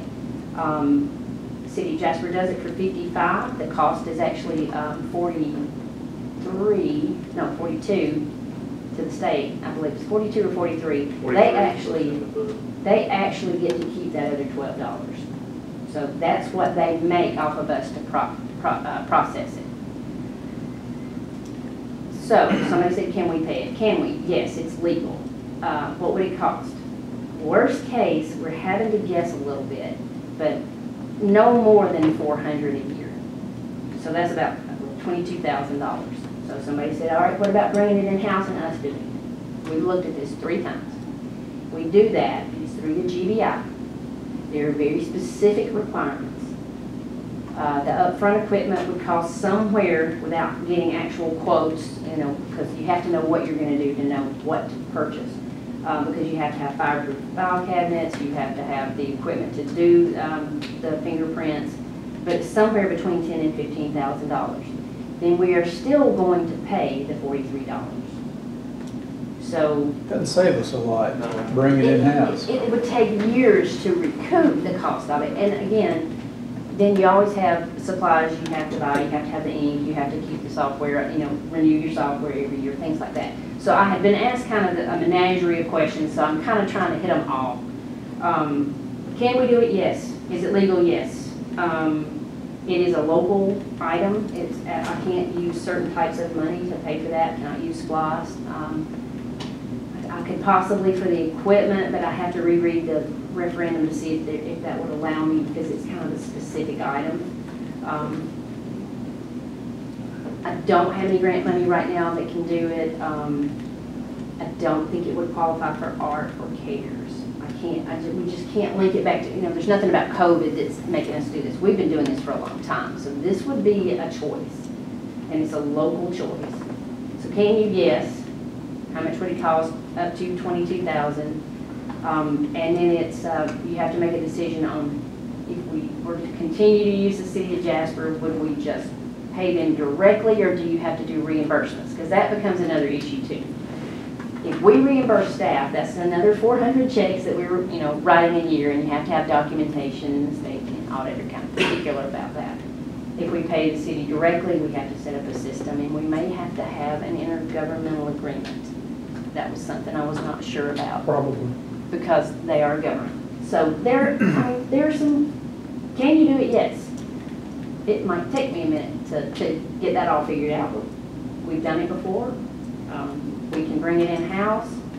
We will have to have an employee. GBI has a nice little booklet on what you have to do. You get inspected. Um, If they don't like it, they can take it away from you. You get audited. You get audited. We get audited anyway, um, once, one- at least once a year, but that is a different kind of audit. It's more intensive. You have to keep them safe and secure. If you destroy them, there, there are certain procedures. We have looked at this several times. Um, We've not yet decided to do it. Um, so that again is gonna be something I just kinda need to know. Or Y'all need to let superintendent know your thoughts. So the questions are, can we do it, and Yes. then should we do it? Yes. Um, Can we? Yes. Yes. It is absolutely legal to do. Our determination is should we do it? And then should we, and then what version of it should Should it be in-house or stay with JPD? So there are some options there. So that is not in this budget. Okay, make sure, everybody knows it's not in this budget. So if it's something we need to do, then I would need to add it. I think I know what my answer is, but we'll talk about it. Definitely not the in-house. That's crazy that we do. Never get it back. Pay that one. For seven bucks? Or eight dollars? That surprised me. I wasn't expecting that. make, is it the GBI that gets the forty-four? Well, the the state, state? yeah. The government, I'm not sure which department, but, um. one- not us How many volunteers a year do we have that have to pay that? Anybody who, anybody who is gonna have contact with kids, um, I mean, not like a parent who comes in to do uh, muffins for mom, you know, um, Field trip chaperones, Field band trip chap- chaperones. chaperones. anything overnight, anything, um, I think if you chaperone on a bus, I'm trying to remember all the criteria, but there is a criteria, a written criteria that, and that's why it winds up being so many. We have a lot of parents that volunteer and mentor and, and do things, and we don't, and of course, don't want to discourage that, but we do require, Another option we could, we could discuss later is um, maybe not paying for the employees since they're, in- they do have inc- uh, income, but for the volunteers, perhaps pay for theirs. That's, that's an in-between sort of compromise that we could discuss. I'm not advocating that one way or the other, but that's something we could think about. And the cost might not be twenty-two thousand every year, but we do know we're gonna have hundred and twenty-five to hundred and fifty staff between, um, just every five years you have to have it, um, and new hires. It can go above, depending on, like, this year, we're kind of light on new hires. Since we, uh, contract out with parapros, that has reduced some of our, um, summer rollover. Um, But I will say this, ABM, I believe if I understood correctly, ABM covers that for their staff. Mhm. They do. Uh, ESS does not. So that's just a little FYI there too. Okay, um, I was asked about driver's education. Okay, around twenty percent of county school systems in Georgia still offer driver's ed as a class. They might do classroom only, and they might do classroom and the driving portion. There, there varieties of what are, what's being provided. From what I understand, I believe there are thirty-seven. Now, this morning I had someone, we've been, we've been chasing people on this. We had somebody contact us at the state level and said they thought it was only thirty-two. But with DDS, Depart- Georgia Department of Driver Services, thirty-seven county school systems are on record as providing a driver training school. So now, maybe they're not doing it, maybe there are five that don't do it during the day. Now, that is something I can't answer, but there are thirty-seven who are approved sites. Um, We can earn half a credit for the student for this class. Uh, It's a nine-week in-class session. Then they do um, so many hours on the road if you choose to do that portion. You can just do the, the class. Um, I- I'm kind of, I've got different information I'm going to try to share with you on this, on what we were able to find out. Um, You must, we must, as a school system, have a certified driving instructor. And that means not certified with PSC. They can have any kind of certificate with PSC as long as a valid Georgia teaching certificate. I'm not sure if it has to be grade level appropriate, but we would probably be. Um, we always had at least one person that you have to be qualified with Department of Driver Services. So they have to apply. There are a couple of small fees, nothing big, but they do have to take a test. They have to have a background check. They have to jump through some hoops. And I actually have a folder with their application process in it. I have not been able to determine how long it takes to do this. The other part that could be a little more uh, uh, labor intensive and extensive is the school system. We have not had a driver's ed program in a long time and do not have anybody that it has been qualified. You had to do an annual re-up for that. Um, Our driver's education bond with GSBA is not active or valid anymore, and I can get that back quick enough. Um, But you do have to meet the criteria first. But the school system, I'm not clear um, on whether we would have to recertify as a driver training school, or if we would have to start over as a brand new one. We are not in their database that I can find. So that concerns me. that- Probably start over. yeah, I'm thinking, and that's a little more intensive. That one packet's about this big and the other packet's about that big. Um, can it, can it be done? Yes. Is it, is it legal? Is it part of the Georgia curriculum? Yes. Um, surround, close counties that do it are, or they're still active in the database, are Murray, Fannin, White. Oh, there's one more that was somewhere close by. There was one more, there were four in North Georgia that I pinged immediately. Most of them are uh, in middle South Georgia, um, but it is something that we can do. Um, We would have to make some decisions on how to deliver when it comes to simulators. Um, Simulators can run anywhere from twenty thousand dollars a piece to a hundred thousand. So not knowing a lot about Could simulators, those be bought with, uh, SPLOST money? possibly. Um, vehicles? Uh, Now, vehicles, uh, we used to have vehicles donated to us by local um, car dealerships. We've had them from every car dealership. Two of the three have changed ownership since then, and I'm not sure how interested they would be, but we have not approached them. Um, I do not know what the student interest is in it. I will say this, one thing we were able to find out is a student can go online for free and take the driver training class. So what we provide in the classroom, they can do for free online. Um, um, There's a variety of ways it's being delivered in other counties. Some of them are helping students with maybe some after-school or contracting with their driver's ed program to do it like on, in the parking lot, at a location, at the bus shop, and, I mean, some people are partnering with um, groups to bring it in and doing it after the normal school day.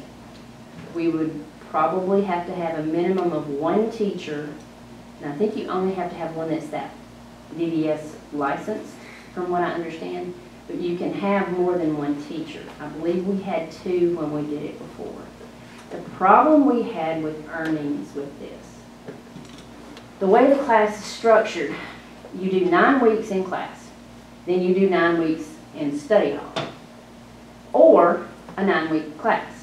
We don't have a whole lot of those, so we paired it with help.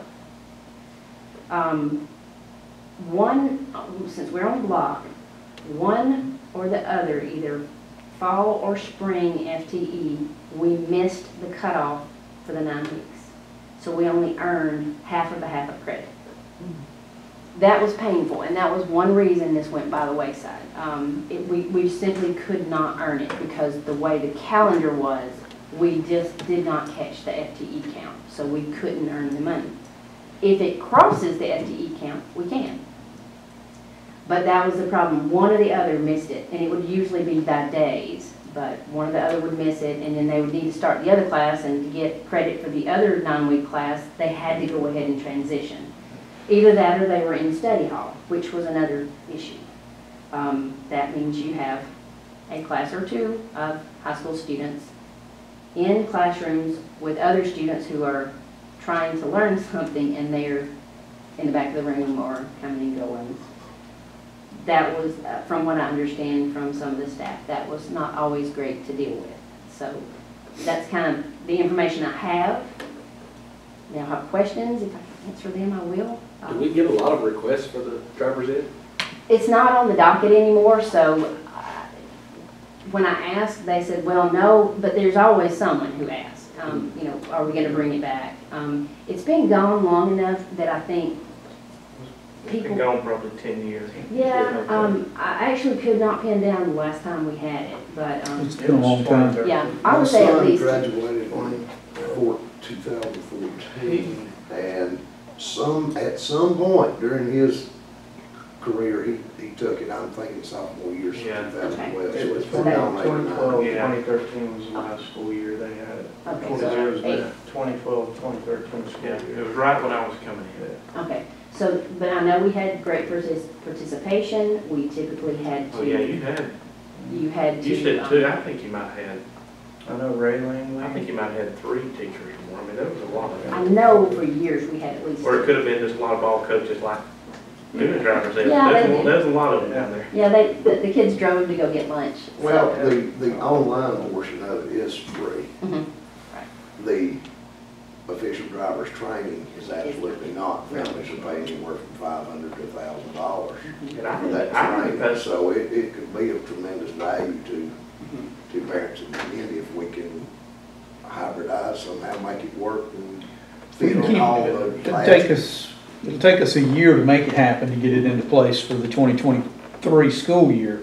We can keep, we can keep moving forward with it The the and biggest, lock con- it down and give you some exact figures and numbers. We can survey the kids, find out how many are interested, how many classes, how much staff. We can keep Well, That working would that. probably be the first thing we need to do, that when we get into the school year survey.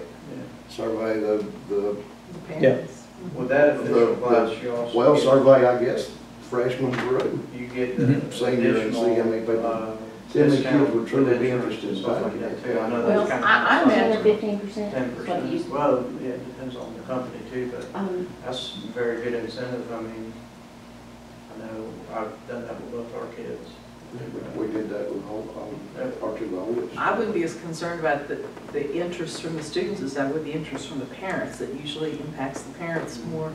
And if, if we could do something that would save parents five or six hundred dollars on their insurance, I would like to do that for them if we could. They're paying, paying a flat fee of, of anywhere from five hundred to thousand dollars to these training companies, But depending on save how on- intensive the training Right, is. save on the class and then save on their insurance. We'll, Yeah, so- we'll continue to do the legwork then. I'm gonna do, I'm gonna play devil's advocate just that Okay. Um, A concern that was brought to my attention is if you, if you add, and you don't necessarily have to add staff, but utilize staff we have, it pulls students away from our other uh, offered classes. It, and it, it was high interest when we did it before. I do think we could have had three or four teachers and still had enough kids in there, but it's, it's going to pull them from somewhere else. Same number of kids, you know, if you pull a PE teacher, that's collapsing a PE class, or if you pull um, a vocational elective, it's, it could collapse some other classes. So that is something that was brought to my attention from the scheduling of it, because the way it was before, it was a sought-after class, and they would even give priority to seniors, and then juniors, and then sophomores, and you had to be of age to be able to drive to do it. Um, But it will pull students from some other location, and it's typically not academic, because they know they have to have their academic courses.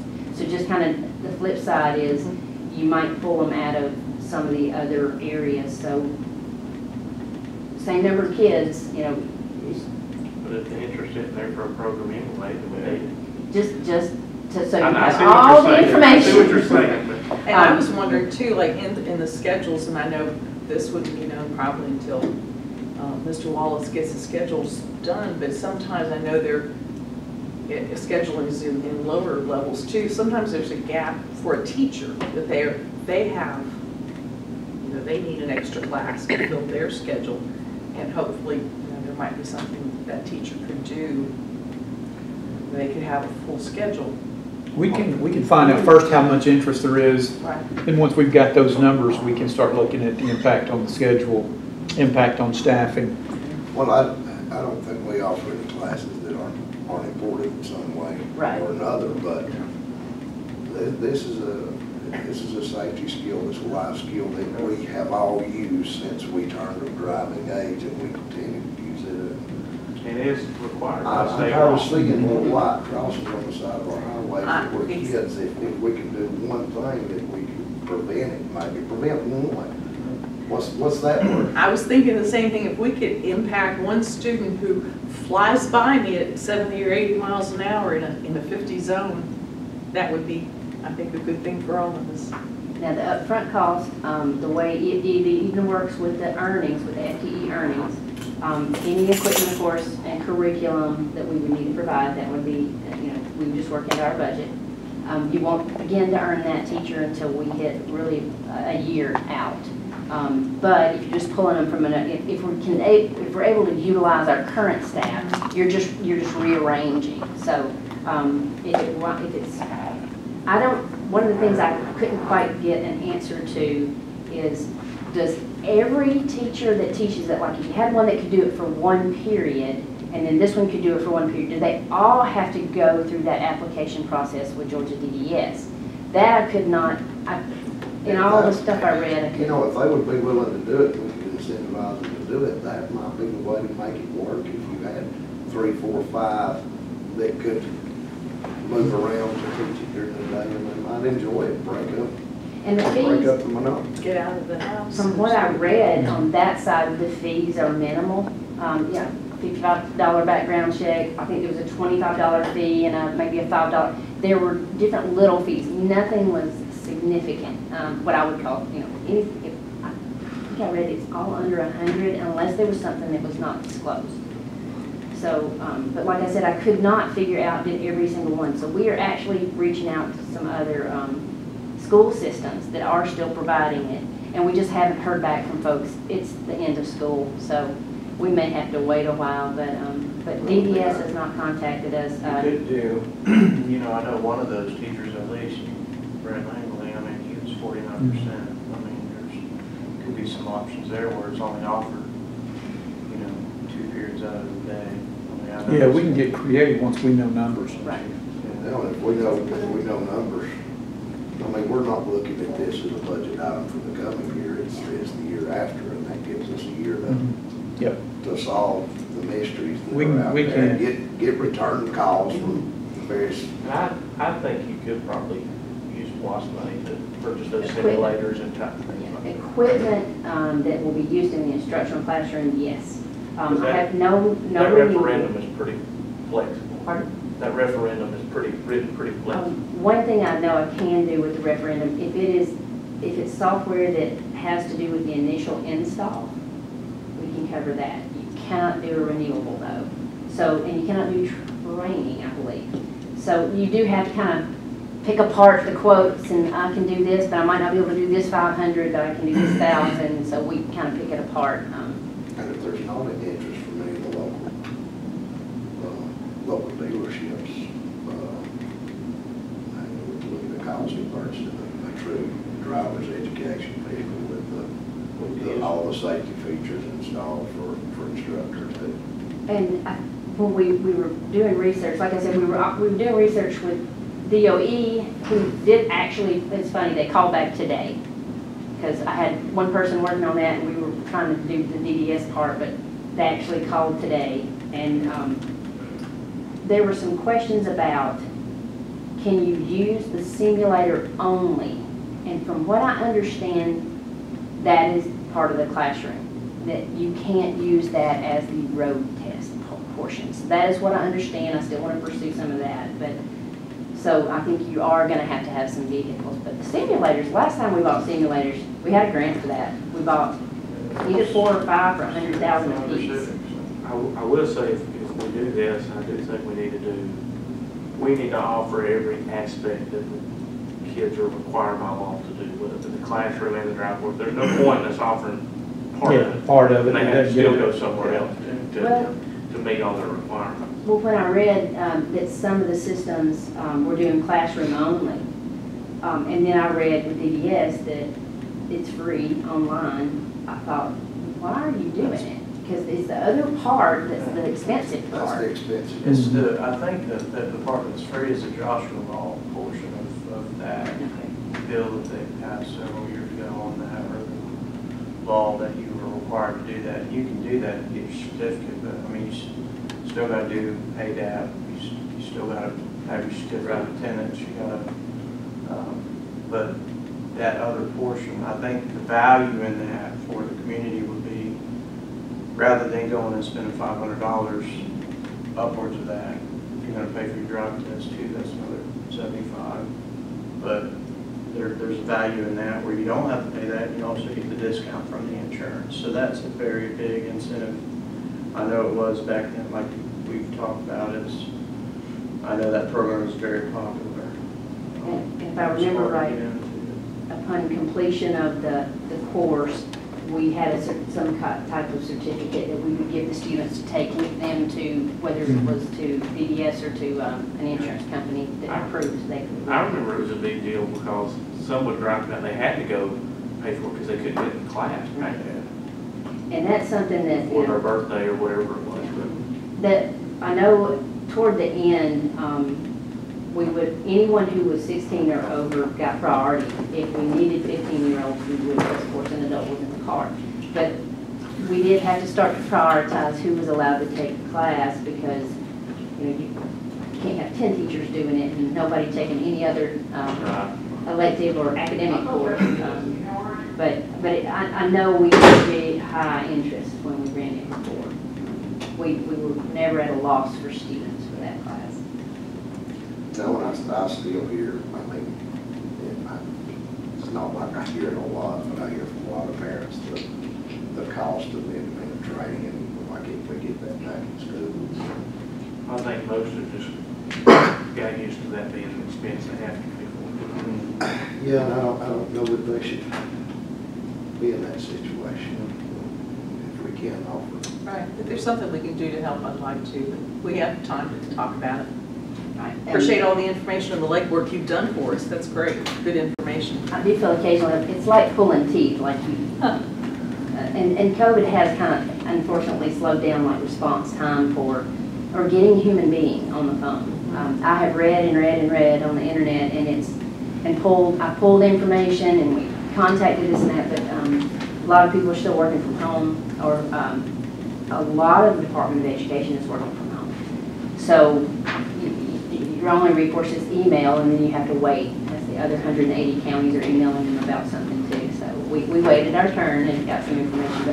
But, but, so I know this is not complete, but these are three items that uh, different people had asked for. So um, if, if you want additional information other than the contracts, I'm going to check on those. We'll go through them one by one and see how many hours. So if they're considered full-time, we consider full-time 20 hours or more. Is that your definition of full-time? Say that one more time. Our definition of full-time when it comes to employment is 20 hours or more per week. Is that your definition of full-time? So when I look at these contracts, I'm able to make a It's a good question. That would not be my definition. So, That would um, not do. I would go minimum 30. I- I okay, would so maybe, I can, I can actually pull, and we can list every one of them and how many hours. Like I said, some don't come every week, um, so it might be a monthly, but, Yeah. um, but we can pull, we'll look at them all. I immediately thought 40 hours when you Yeah. said full-time. Okay. I, I could probably go down to 35, 30 maybe, but. I don't. I kind of think forty, but I can, I can offer thirty. Well, you start having to offer benefits at thirty-two plus, correct? Um, actually, our rule now, because of, um, uh, ACA, is in your look-back period, if the average of your working time thirty hours or more per week, you're considered full-time. Let's just go with thirty. Wanna Okay. Do that. Let's do 30 then. Right. Okay. We'll give you a breakdown of- with the LORs. Okay? All right. Now, uh, if y'all, will- you have a green tab that says salary information. Y'all will flip to that. Um, I wanted to go over just some information, the proposed non, uh, classified salary schedule, um, has already been worked into this budget. But I wanted to talk to you a little bit about how it came to be. Um, Chris Parker, our personnel director, was integral in this. Um, what, and I'm, I'm gonna read some of this, and I don't normally just read straight out of here, but I want y'all to understand the process we went through to determine, uh, some of these hourly wages. Um, in an effort to help our classified employees reach a wage comparable to the surrounding area, we studied salaries of eight comparable count, or districts. Gilmer, Fannin, Dawson, Union, White, Murray, Gordon, and Lumpkin. We took all the information we could obtain and created an area average. We recognize that while some of our jobs' starting pay is comparable or better than the surrounding areas, the step increases for longevity were significantly less here than most surrounding areas. Now stop there for just a second. What that means, our current classified salary schedule for almost every uh, classified employee, the only increase they get once we bring them in is $125 a year. Now, it's for 30 years, but you realize if somebody stays with us for 30 years, they're only making $3,750 more if we stick to that schedule and y'all don't do like a, a system-wide increase of some sort. So our steps, they're not a percentage, it's a flat 125, and they don't even notice it. Um, we have wanted to do something with this. This started during, um, some of the, right before the economic downturn. It was supposed to grow significantly into a one and a half to two percent cost of living every year. Because of the economy, it never happened. Since then, I've just never really been able to get anybody behind this. So, Mr. Parker said, let me pull some information and let's see what it would cost. So he started working, this has been going on for months.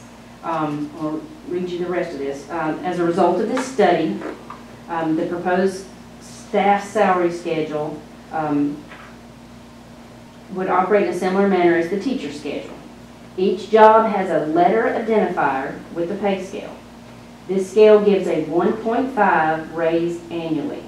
This raise would be attained by satisfactory annual evaluations. We think it will help create pay equity and reward longevity uh, as our staff will see a significant in their, uh, increase in their pay over time. The folks we have on board right now, what we did, we took every non-certified employee, put them on the schedule after we had an average. And there will be some, if they've been here 30 years, they're gonna get a one-time whopper. They may get $5,000 a year, but they've been getting $125 a year for 30 years, or the whole 30 years, but since, it's since 2001 or 2. This will be huge if, if the board can support this, this will be life-changing for some of these people. if they've only been with us a year or two, depending on where the average fell, nobody's gonna lose money. But there will be some that maybe don't get much, or there may be some that get none at all. They're on step zero, um, I'll give you an example. The school bookkeeper schedule. The starting pay is fourteen oh eight an hour. That's strong across the counties. But it's not after about five years, and we lose people, and then we have to retrain them, which costs money and time. Um, but we, we can't sustain it, It's- they get very, um, after a few years, and they're not getting any kind of raise they can see, it, they get very discouraged, and they start looking elsewhere, or someone calls them, and so they want to go somewhere else. Um, this is a, a method if you stay and you get your one and a half, and I know one and a half is not the best increase every year, but it's a heck of a lot better than what they're getting now. And if we can do, if we can pick this up, we can increase that over time. This is gonna cost about four hundred and twenty thousand dollars for salary and benefits for those employees right now, but it's in. But that's already in the budget. It's already in the budget. So it's already been made to work in the budget. Yeah, the numbers that you guys have there, it's, it's already been incorporated. We weren't gonna bring something we didn't think, and we started with three percent. We started with three. Um, we played with several numbers, and it, this one we could make work. Um, I would, I know other companies have a larger step increase, but I, I, we need to do something, and we've not been in a position to for a long time. I think we have a moment when we are, um, and we can make it better every year. But we, I feel strongly that we need to take advantage of this moment and, and start something. After, after hearing that that was all that step they were getting for thirty years, I, I got, It's, and this is already made to work. We- It's we- embarrassing. It's in there. Now, we may still have to tweak on a few things. Um, every single department didn't get to go over every single employee. We used averages. Um, I've gone through it. I've got, a- I've only got a couple of people that I kind of, mm, mm, you know, let's, what was your, what was the definition of this? What was the, de- we tried to place it, and, um, I'm gonna go ahead, if you'll flip to the next yeah, page. the next, the charts will help clarify what I'm saying. Um, This is the actual classified staff salary schedule. Each position, and they're all listed at the bottom, is given a letter. And then you go to that letter and however many years service they have with us, and that's the hourly rate they make. So if you've been here 25 years, you know, you may on, be on D and you go up here to 25. Um, You can see which, which job, and we tried to do it by looking at the job description, the responsibility, and the hierarchy we already kind of have in the system. Um, I'll also ask you to flip to the next page, and I want you to see the job comparisons, and there are two pages of, of positions that we looked at, and how they were, um, what the average was. You have our current pay in green, the area average in blue. You have your eight counties and their ranges from uh, low to high, and then what our proposal is.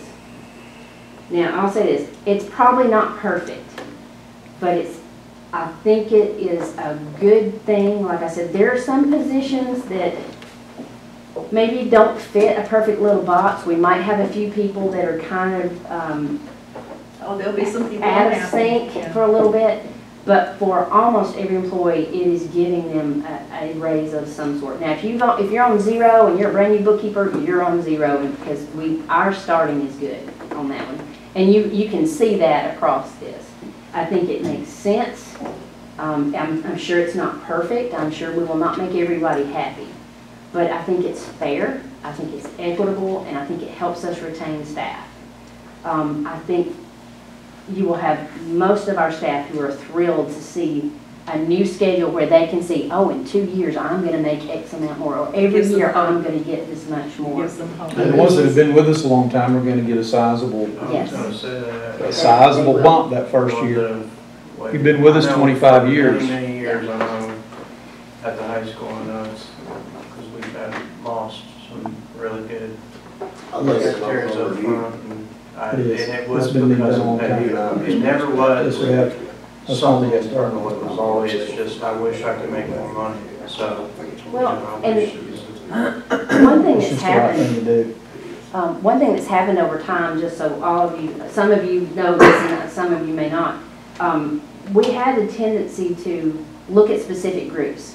We might address the bus drivers one year, and then we might address food service, and we might address parapros, and we might, and there were lots of positions that just there was one person in or a few people in that we never really addressed that were right in the middle. And that's where we kept losing people.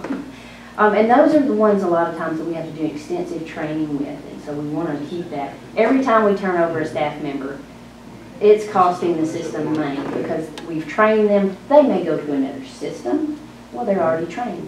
Um, it, it is hurting us to have constant turnover. So, um, No, and, I- and by and large, these are the people that, that, we don't run without. absolutely. We, we don't have That's all schools the without these system. people. I'm not, I'm not saying, I, I, I love our teachers, I love our certified staff, but these are the folks in the trenches who do all kinds of things, who go out of their way, who are su- truly support staff. You, all of us, and I'm, I'm a non-certified person, no admin are in here.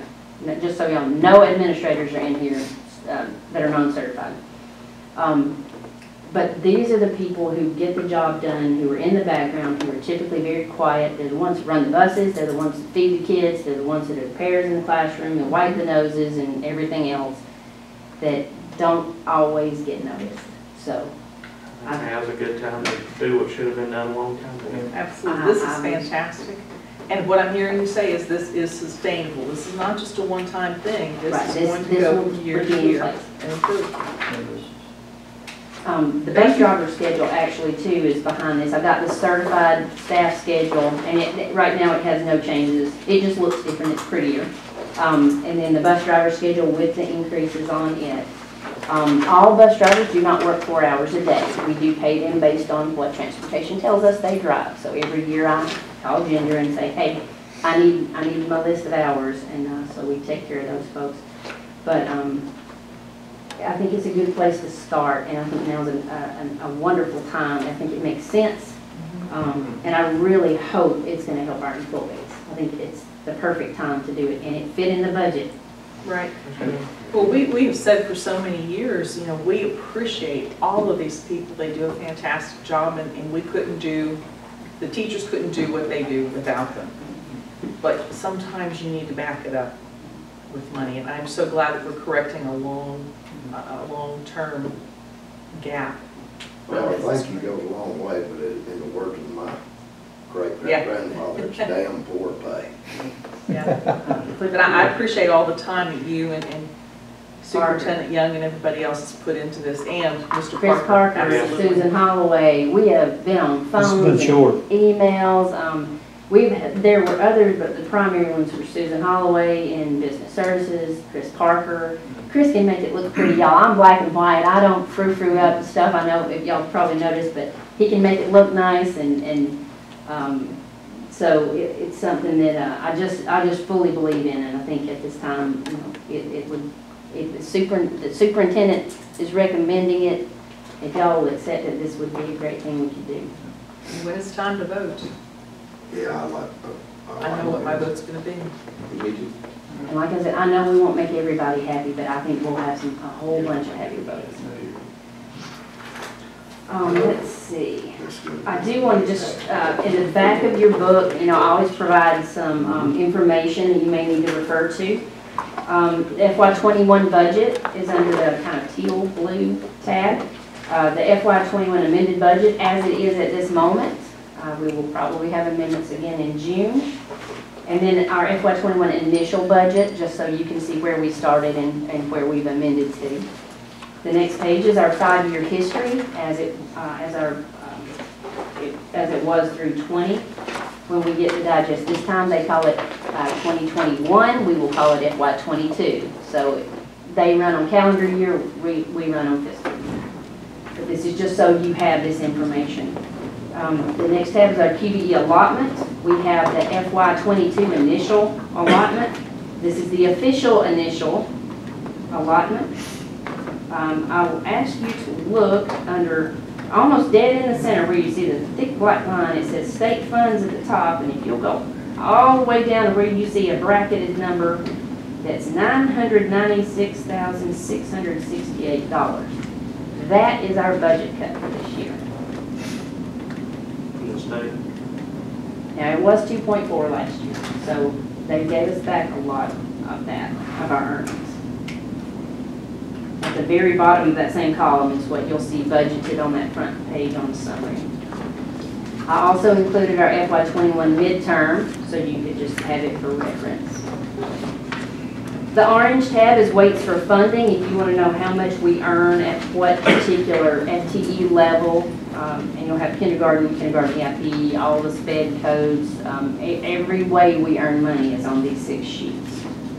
Um, The lighter orange revenue code descriptions, just so when I call out all these crazy names and numbers, that you can actually look it up later if you want to and say, what was she talking about? Um, But it's the state definition of the revenue numbers, and behind that in yellow are the expenditure numbers, uh, description. Just for your information, as it stands right now, I know we may have a couple of changes, um, because of us offloading, uh, those utilities of nine hundred thousand from M and O to CARES, our salaries and benefits, you know, make up most of our budget. We're pushing ninety percent this year.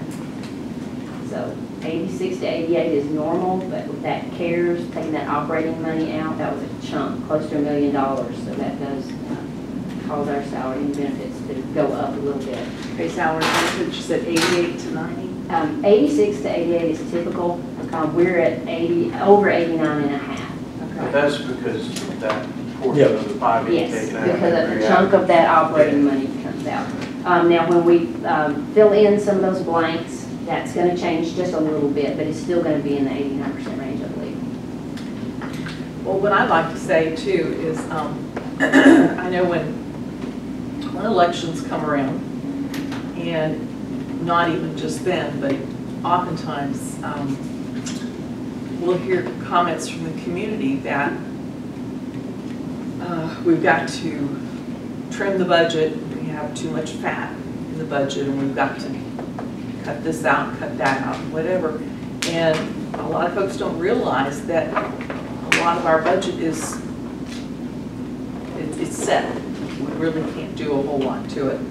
Um, While we try to be very careful, and we, we are very good stewards of the money, uh, if you want your student taught, we have to have a teacher there. And that's where the salaries come in. And That's eighty-six to ninety percent of our budget. Absolutely. Um, just for your information too, on page one again, um, if you notice, our expense for next year currently is less than what we asked for for last year. What allowed that is the elimination of two central office positions, um, the elimination of Pearson online, at almost half a million dollars, um, We reduced one counselor, one school counselor, that uh, was not something that we earned. Um, And one teaching position, at least, we're getting close to two. We had some pieces and parts that get funded, so I know people don't understand how you have a part of position, but the way we fund, um, it is reducing almost two teaching slots. So those are the, that's over a million dollars. So. And that's with the, that's with that uh, classified, And In those that's- It's all numbers. in there. so we're still down. And I've looked at it three times trying to figure out, uh, plus and minus and plus and minus and um, the revenue being given back to us by the state was, was essential in this happening. Um, We will probably have growth in the digest. Um, So as we fill in these other few holes, um, then we'll get a solid number. We will need to have another meeting to talk about special revenue, which is SPLOST, food service, and all the federal grants. Um, We're trying to, um, we're up to 12 federal grants under CARES and ARP right now. So we'll, we'll have that organized for y'all. That shouldn't be a long meeting, um, but we will have to meet one more time. At some point, once the budget is together and pretty well defined, and all the holes filled, um, we will need to have two public hearings. And that is where we meet, um, we open up to public comment, and we listen. And then we will wait for the digest. Um, We can do a tentative approval before or after the digest. Um, If we do not have something in place, or suspect that we will not by July 1st, we must in June approve a spending resolution. Sometimes just, if it looks like we're not going to have one, we'll go ahead and approve at the regular June meeting a spending resolution, just so we have it ready to go. If we do a tentative approval after that, that's fine. Um, But that way, we know July 1st, I can't spend one cent without spending resolution or a tentatively approved budget. Okay, July 1st. Are you looking to do the other budget meeting?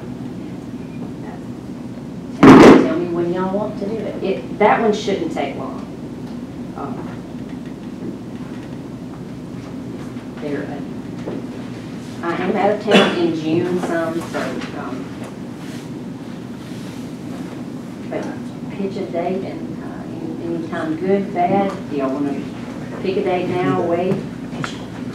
Might be good to throw out some days, we'll have an idea. I know it took us a while to get one pinned down this last time, so.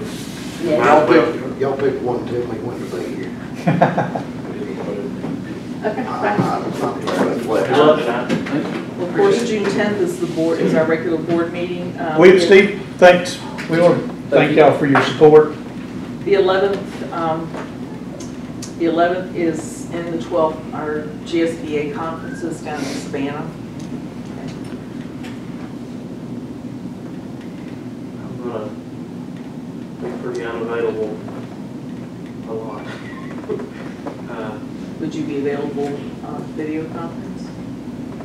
Yeah, I, I mean, I can make a day work in June, it's just my first, second, and third week pretty full, but I, I can make a day work, it's just, I might have to be a little selective. Uh, I'm, When are you, I, when are you not here? I am not available from June eighteenth until the twenty-eighth.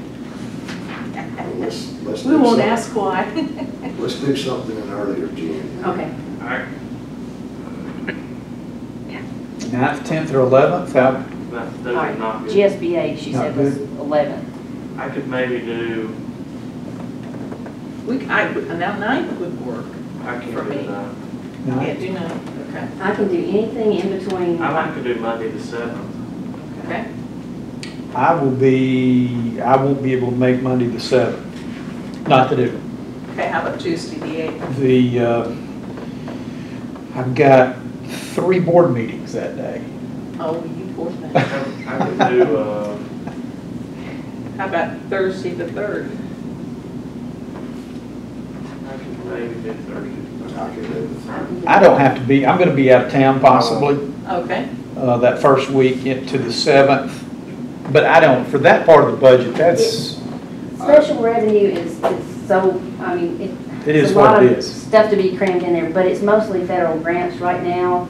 Um, now the CARES and ARP, we know the dollar figures, what I have, the the tough part right now is just, we've got to close one year and open the next, so I've got to kind of know how much we're gonna draw down, but that's an estimate we can always amend. do the. Food service. At all. I won't even be available for that. I- What I day? can maybe do third, I can't, how about Tuesday, the first? can't do Tuesday first. We have to have two weeks in between, don't we? How about June eighth? No, that's all for the public hearing. Are you here June No, eighth? Tuesday, the eighth wasn't gonna work, he's got three I've board I've meetings. got board meetings going on all day long. I can be in and out. What about seventeenth or eighteenth? No, she's I'm gonna not. be out. When do you look? Uh, I'll, How I about, leave the eighteenth. how about the fourteenth and fifteenth? I'll Are be you up. good? Sixteenth, Pardon? sixteenth? I think I could do the sixteenth. Uh, sixteenth's okay with me, Yeah, how about you? I'm good with that day. I think I can do the sixteenth. Okay. Guess I should look at my calendar. Okay. What time? One o'clock's fine. One o'clock, I'm, How long will that one take? Um, unless y'all have more questions about this and y'all, you know, y'all feel free as long as Mr. Young is okay with y'all emailing me or calling Absolutely, me about yeah. anything I've presented. If you have a question, please let me know. If I need to get more information that we need by that meeting, let me know and give me enough time to do whatever. Um, it's gonna be, like I said, food service, they're, they're ready to go with their budget. Uh, SPLOST, we're still hashing out a few things on, uh, timelines. I have to know exact, kind of exactly what I'm gonna pay in that year. We're working on timelines. Um, A lot of that one's just gonna be what it, it's- it just is what it is with those Yeah. federal grants. federal So it'll, So I mean, I guess It's- it's not- Will that day work for you? it won't take long. It really just depends on if you have other questions about this part, if I need to, we've got to fill in a couple holes on this part and make some decisions on pick a year or are we going to do this, or that, or the other. I'll, I'll have to know anything that needs to go in this budget, um, for sure.